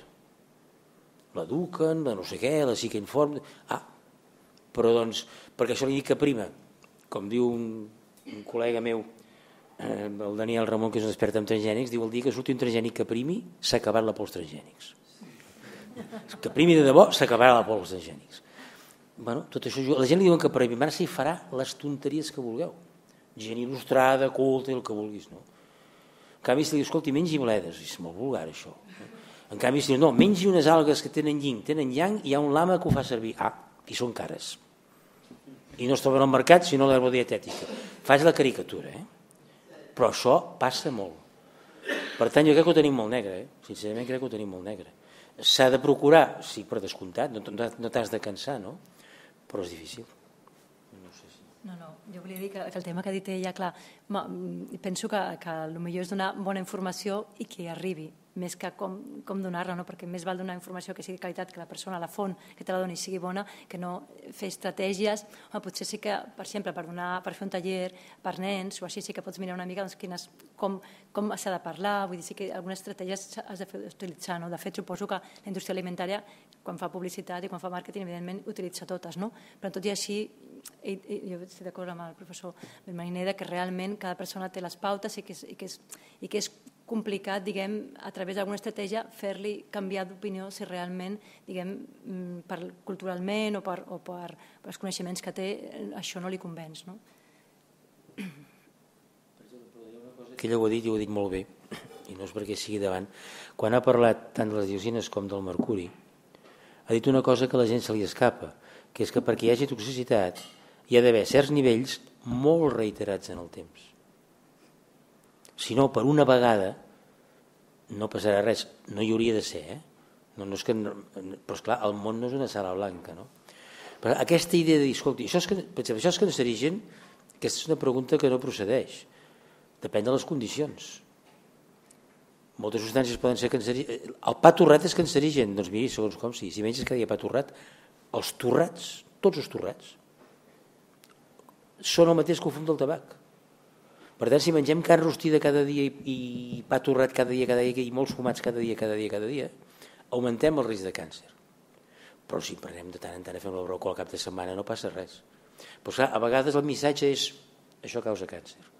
I aquests matisos de la reiteració, de la dosis i sobretot la idea de que no vivim en un bon paradisíac. No? Estic dient coses que són molt, molt tòpiques, però esclar, jo voldria la verdura sense cap pesticida, efectivament, però està, si tu tens l'hort a casa, sí, però això ho pots fer al Pirineu, però no ho pots fer a Barcelona. Ara una mica sí, eh? però a Barcelona passen cotxes. Està, llavors, eh, introduir la idea, per exemple, de que la societat absoluta no existeix i de que les coses són relatives costa molt.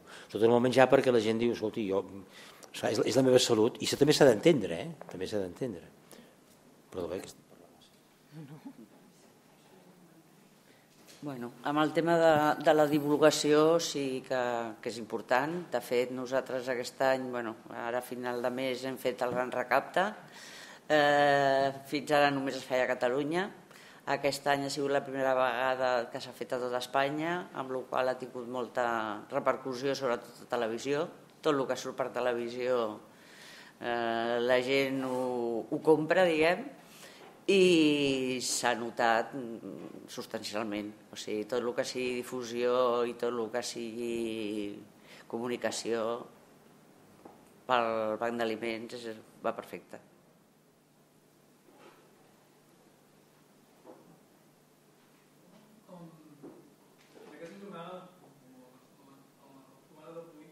Doncs he tornat a barrejar dos conceptes que quan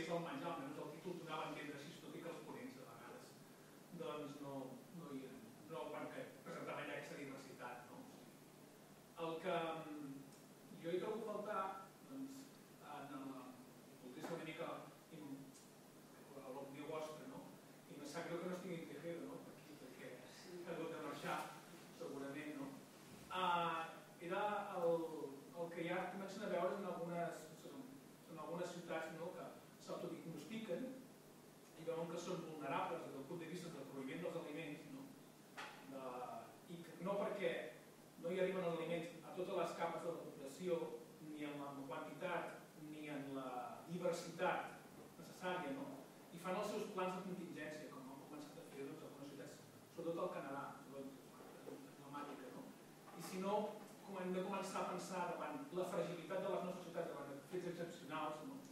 els que siguin, allà van prendre consciència a partir dels, dels atacs terroristes del, del, del, del 2011, 2000, 2001, 9-11, vale?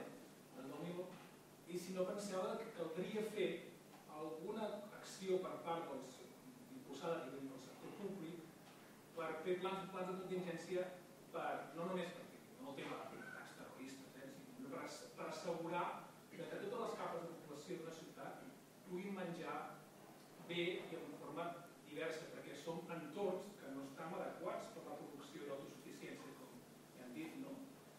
I crec que és important, des d'un punt de vista de que impulsar alguna mena de planificació o acció, diguem i això que tingui redundància en el teixit comercial de la ciutat, en el canvi dels hàbits alimentaris, en una estratègia de comunicació, una estratègia també de, de pedagògica en aquest sentit. Podria ser una mica el vostre pren en aquest sentit, perquè a vegades ho parlo, he parlat també a vegades amb uns càrrecs, amb uns càrrecs públics, i que hi ha aquesta necessitat. Però crec que també, de, com que ha de ser un treball, diguem-ne, des de molts punts de vista, com ho veuríeu vosaltres de cadascun dels vostres punts de vista, com, com periodistes, com entitat d'ajuda i de lluita contra el malbaratament alimentari des del punt de vista Soc en Paco Muñoz de la Universitat Autònoma de Barcelona. Teniu raó, però no sabem bé què dir. Vull dir, perquè no, és dir, mm, les, una ciutat des d'un punt de vista, no sé si, si no esteu d'acord amb, el que, amb el que dic, digueu-m'ho, eh? no pot ser autosuficient en absolut. Si un cas ha de tenir una proximitat, no sé, en el cas de Barcelona, doncs esclar, tenim l'Horta del Llobregat que acabava retrocedint, per exemple, i això no és bo. És dir, jo crec que hauríem de preservar al màxim la capacitat agrícola i ramadera el més propera possible a les ciutats. Per altra banda, ensenyar la gent a no malbaratar. Ensenyar la gent a comprar allò que és ecològicament menys costós.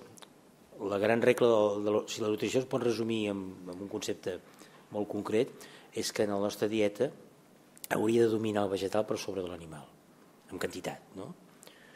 perquè la producció de vegetals no demanda tant ecològicament, tot i que els productes animals tenen més concentració de nutrients i per tant no hi ha tanta diferència com se sol pensar. No?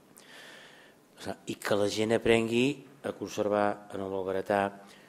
Per exemple, si hi hagués alguna amenaça llunyana, les conserves tenen llarga vida i et permeten garantir una subsistència. Per tant, i, i evidentment, jo crec que hi ha, em sembla l'Ajuntament de Barcelona, ara parlo de memòria, però potser algú d'aquí ho sabrà millor, em sembla que hi ha la idea de si, si algun lloc s'ha fet aquí a Catalunya, no recordo on, recentment, que els horts urbans no siguin simplement un entreteniment de jubilats, sinó que siguin alguna cosa més. És a dir, que la gent aprengui a valorar-ho. Que això tindria una altra importància, una altra conseqüència molt important que no es valora prou. Les generacions joves cada vegada menys no coneixen els aliments. Tot el que sigui que els tornin a conèixer i a valorar repercutirà no simplement el seu benestar, sinó fins i tot la seva nutrició. O sigui, si, si recuperen la idea de què és un nord i què és un enciam, això, conèixer més l'aliment, habituar a cuinar-los, que vol dir també valorar-los, això sempre seria bo. No sé si amb això contesto, jo no sóc expert en aquest àmbit, no? però és procurar doncs, que l'agricultura que tenim no vagi enrere, sinó que vagi endavant. Eh, la ramaderia que tenim també, molta s'exporta, però avui doncs, i esclar, procurar que siguin accessibles i econòmics els productes. També educar la gent amb el que és una alimentació dietèticament interessant i barata. Eh? O sigui, per exemple, l'ou s'hauria de fer i una mica ja s'ha fet. I amb altres aliments també. No sempre el més car és no sé bé què dir eh? Vull dir, no sé si contesto gaire o no contesto gaire perquè no... no, per mi poses unes bones bases del, del que podria ser un document no? en aquest sentit o, o sigui, aquestes opinions donen força de defensar aquest, aquesta mena de planificació que cal, no? un pla de contingència per, per, bueno, per fer més, més robusta la ciutat des del punt de vista de, de proveïment alimentari, no? tant en quantitat com en diversitat. Mm -hmm. Jo, jo crec que estaria bé si existís, no sé si hi ha alguna cosa feta al, al, diguem, en referència, no sé si hi ha alguna cosa, suposo que potser sí que hi ha algun, no sé, algun protocol o algú, com a mínim de forma genèrica, no? El que sí que puc dir des del punt de vista de, per la informació que nosaltres hem, hem, hem mirat i hem contrastat i hem observat és que realment falta molta informació en general a la població sobre temes de nutrició i a més que molta, moltes vegades la, la població tampoc és molt exigent en temes de nutrició quan hauria de ser-ho més. Sí que pot ser exigent en, en, en optar per uns aliments o per altres o dir això sí o això no, però a l'hora de la veritat, per exemple, nosaltres vam analitzar que també si voleu fer una ullada està, està bé, ara ja no tant perquè ja no segueixen de tan de prop l'actualitat, però és una base de, de és, una, bueno, és, una web, és un website eh, que és la revista, o sigui, és l'edició digital de la revista Consumer eh, de, de, de, de Eroski i llavors tenen diversos apartats i hi ha un apartat de seguretat alimentària. Doncs curiosament, amb temes d'actualitat, diguem, com podia ser, jo què sé, pues, alertes o altres temes d'importància o d'insuficiència d'aliments, segons quines àrees, doncs barrejaven també temes com dir, per exemple, eh, quins... Eh, a veure, com, com haig d'organitzar-me, per exemple, al, al, la nevera? La nevera Clar, i dius, coses molt bàsiques, que tu també, jo, jo també tinc dubtes de vegades, no? vull dir, soc la primera, moltes vegades, quan comentava també de, de la, dels aliments, moltes vegades compres, i com tampoc compres cada dia, doncs moltes vegades doncs, acumules i després no gestiones bé. Llavors, si realment penso que falta molt informació en general i, en, i aquest aspecte que tu dius, doncs penso que sí, sí que és important per com organitzar-te en una situació, clar, quan, per exemple, en tema de, de Fukushima, quan va haver aquesta alerta, la gent anava boja a comprar ampolles de, de mineral, d'aigua mineral embotellada, perquè deien que la de l'aixeta no es podia veure, no? Vull dir, la gent reacciona d'una forma perquè li falta informació. Penso que en aquest àmbit sí que potser, com ha comentat la Cristina, no sé si a lo millor la idea que ella ha dit és molt bona, potser sí que es podrien aplicar algun tipus d'estratègies perquè la gent, de forma que arribés a la població, que és l'important, que arribi, no? que arribi la informació bona, perquè realment pogués organitzar-se. Perdoneu, però és que m'ho acabes de servir amb safata. Uh, uh, lo de l'aigua mineral. Jo no sé si aquí hi ha algú, de la meva edat no hi ha ningú, algú que recordi les aigües minerals i entrades a la Vichy Fa unes dècades a l'etiqueta posava la radioactivitat que contenia. Això ha desaparegut, perquè la radioactivitat hi és. Les aigües minerals profundes tenen una certa quantitat, minerals naturalíssimes, eh? ni processades, eh? de radioactivitat com a conseqüència de les zones per on han passat. Quan doncs, jo era nano, la radioactivitat no espantava ningú. Ara, imagina't que l'aigua de Vichy posés l'etiqueta eh, tantos milicúries o com sigui, la gent apretaria a córrer. És un tema de percepció social. I la realitat és la mateixa, i és, eh? perquè una, una realitat basal en el medi hi és. El que passa que doncs, les coses això apareixen o desapareixen en funció de la percepció social. Aquest és un cas ben clar, no? Vostè vol una aigua que té una mica de reactivitat? Ui, no. Doncs miri, la de l'aixeta en té menys que la mineral. I, i legalment... Per exemple, no?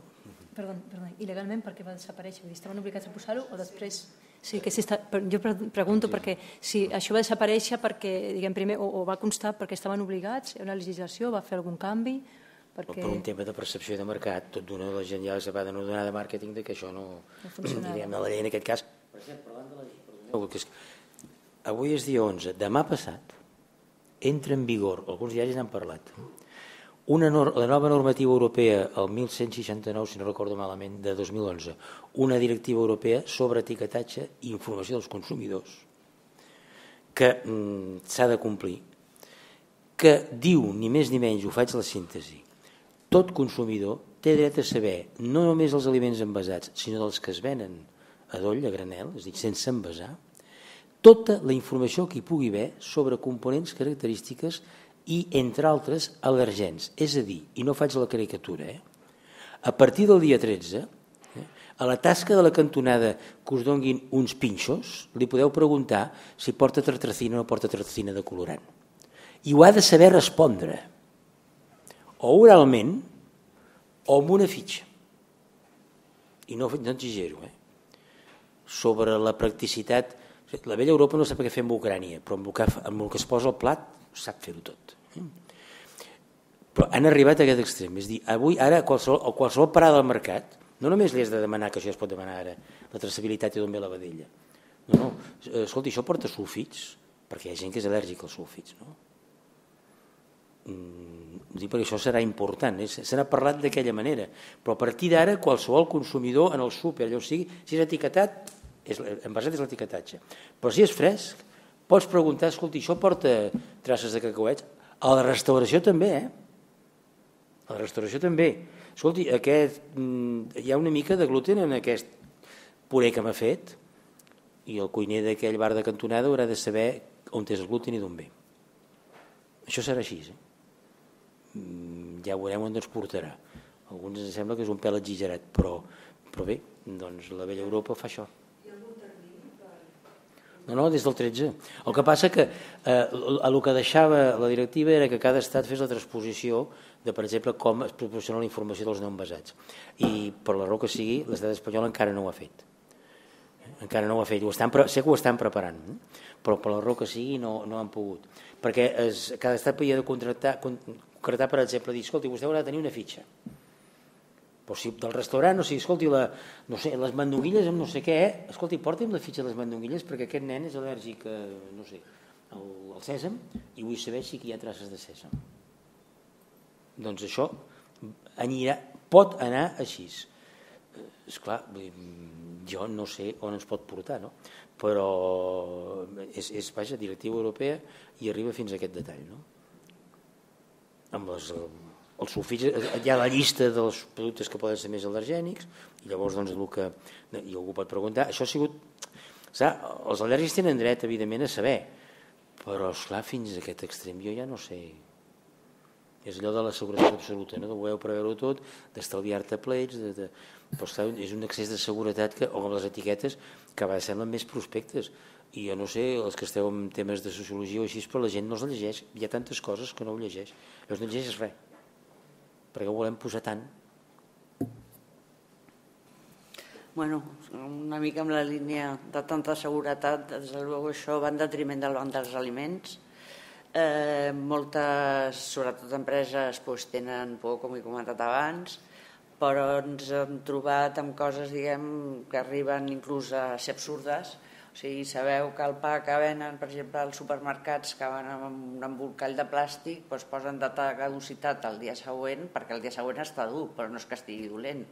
Amb la qual tot aquell pa que es podria aprofitar per fer sopes, per fer torrades, per fer un munt de coses, doncs les cadenes eh, són molt reàcies a, a donar-ho.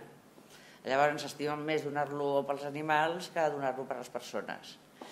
Llavors, eh, el tema d'això, ara afortunadament ja els iogurts hi ha la data de consum preferent, ja no està la data de caducitat com altres productes, però bueno, és de, sempre i quan es conservin diguem, les cadenes de fred, etc etc. Clar, un iogurt que està al sol durant un dia és igual la data que tingui es, té més possibilitats que es faci malbé que un que està a la nevera i que ha passat dos dies de la data de caducitat. I en quant a les necessitats de la població evidentment n'hi ha, n'hi ha moltíssimes. Els nostres beneficiaris a través del banc d'aliments no arribem a fer-los arribar ni una cinquena part de les seves necessitats alimentàries o sigui que hi ha, hi ha molta dificultat. I com penseu que podria incrementar-se? Bueno, amb el tema diguem del no malbaratament, ara per exemple tot el que era car, eh, ara hem començat precisament en Capravo, eh, ells el que fan és que quan està proper a la data de caducitat el que fan és congelar-la, llavors ens l'està donant congelada això estem mirant també que es pugui fer amb altres productes perquè tenim en compte que el que és el tema MIMBAS, és, que és l'entitat que va recollir, no va tampoc cada dia, a menys que no hi hagi bastanta quantitat. Llavors s'està intentant pues, això, buscar sistemes que es puguin conservar aliments fins que pugui, hi hagi un volum suficient perquè puguin anar a una entitat. Però bueno, això implica més feina pel, pel personal del súper, quan hi ha el personal del súper, si, si us heu fixat, ja netegen, reposen, venen, cobren, amb la qual és més feina, perquè clar, no és el mateix agafar tota la fruita i posar-la, diguem, i llançar-la, que anar triant, doncs mira, aquesta pera té un cop, però es pot servir per una macedònia, això directament a les escombraries. Després, el, la botiga té que tindre un puesto per amagatzemar, i en el cas dels congelats doncs, tindria que tindre un arcó només, diguem, per als aliments que van al banc d'aliments. Llavors tot això pues, costa, costa molt.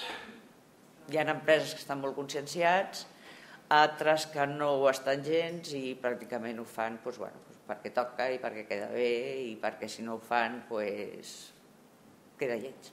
Però per desgràcia és així. una manera de que, a més de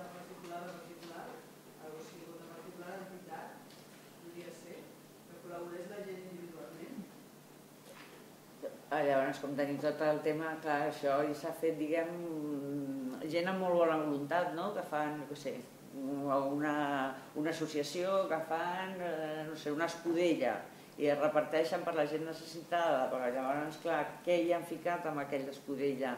Qui ha seguit? Qui dona, diguem, el vistiplau de que s'han seguit tots els, eh, tota la part higiènica? Clar que a vegades, diguem, més val, i això potser sonarà una mica bèstia, no? però més val arriscar-se a menjar-ho a algú que no estigui, a lo millor al 100% en condicions, que no menjar res. Però des de la persona, diguem, que dona, doncs, evidentment té el seu, la seva por, i nosaltres com a entitat, doncs, evidentment, tenim que, que fer els possibles perquè això no passi.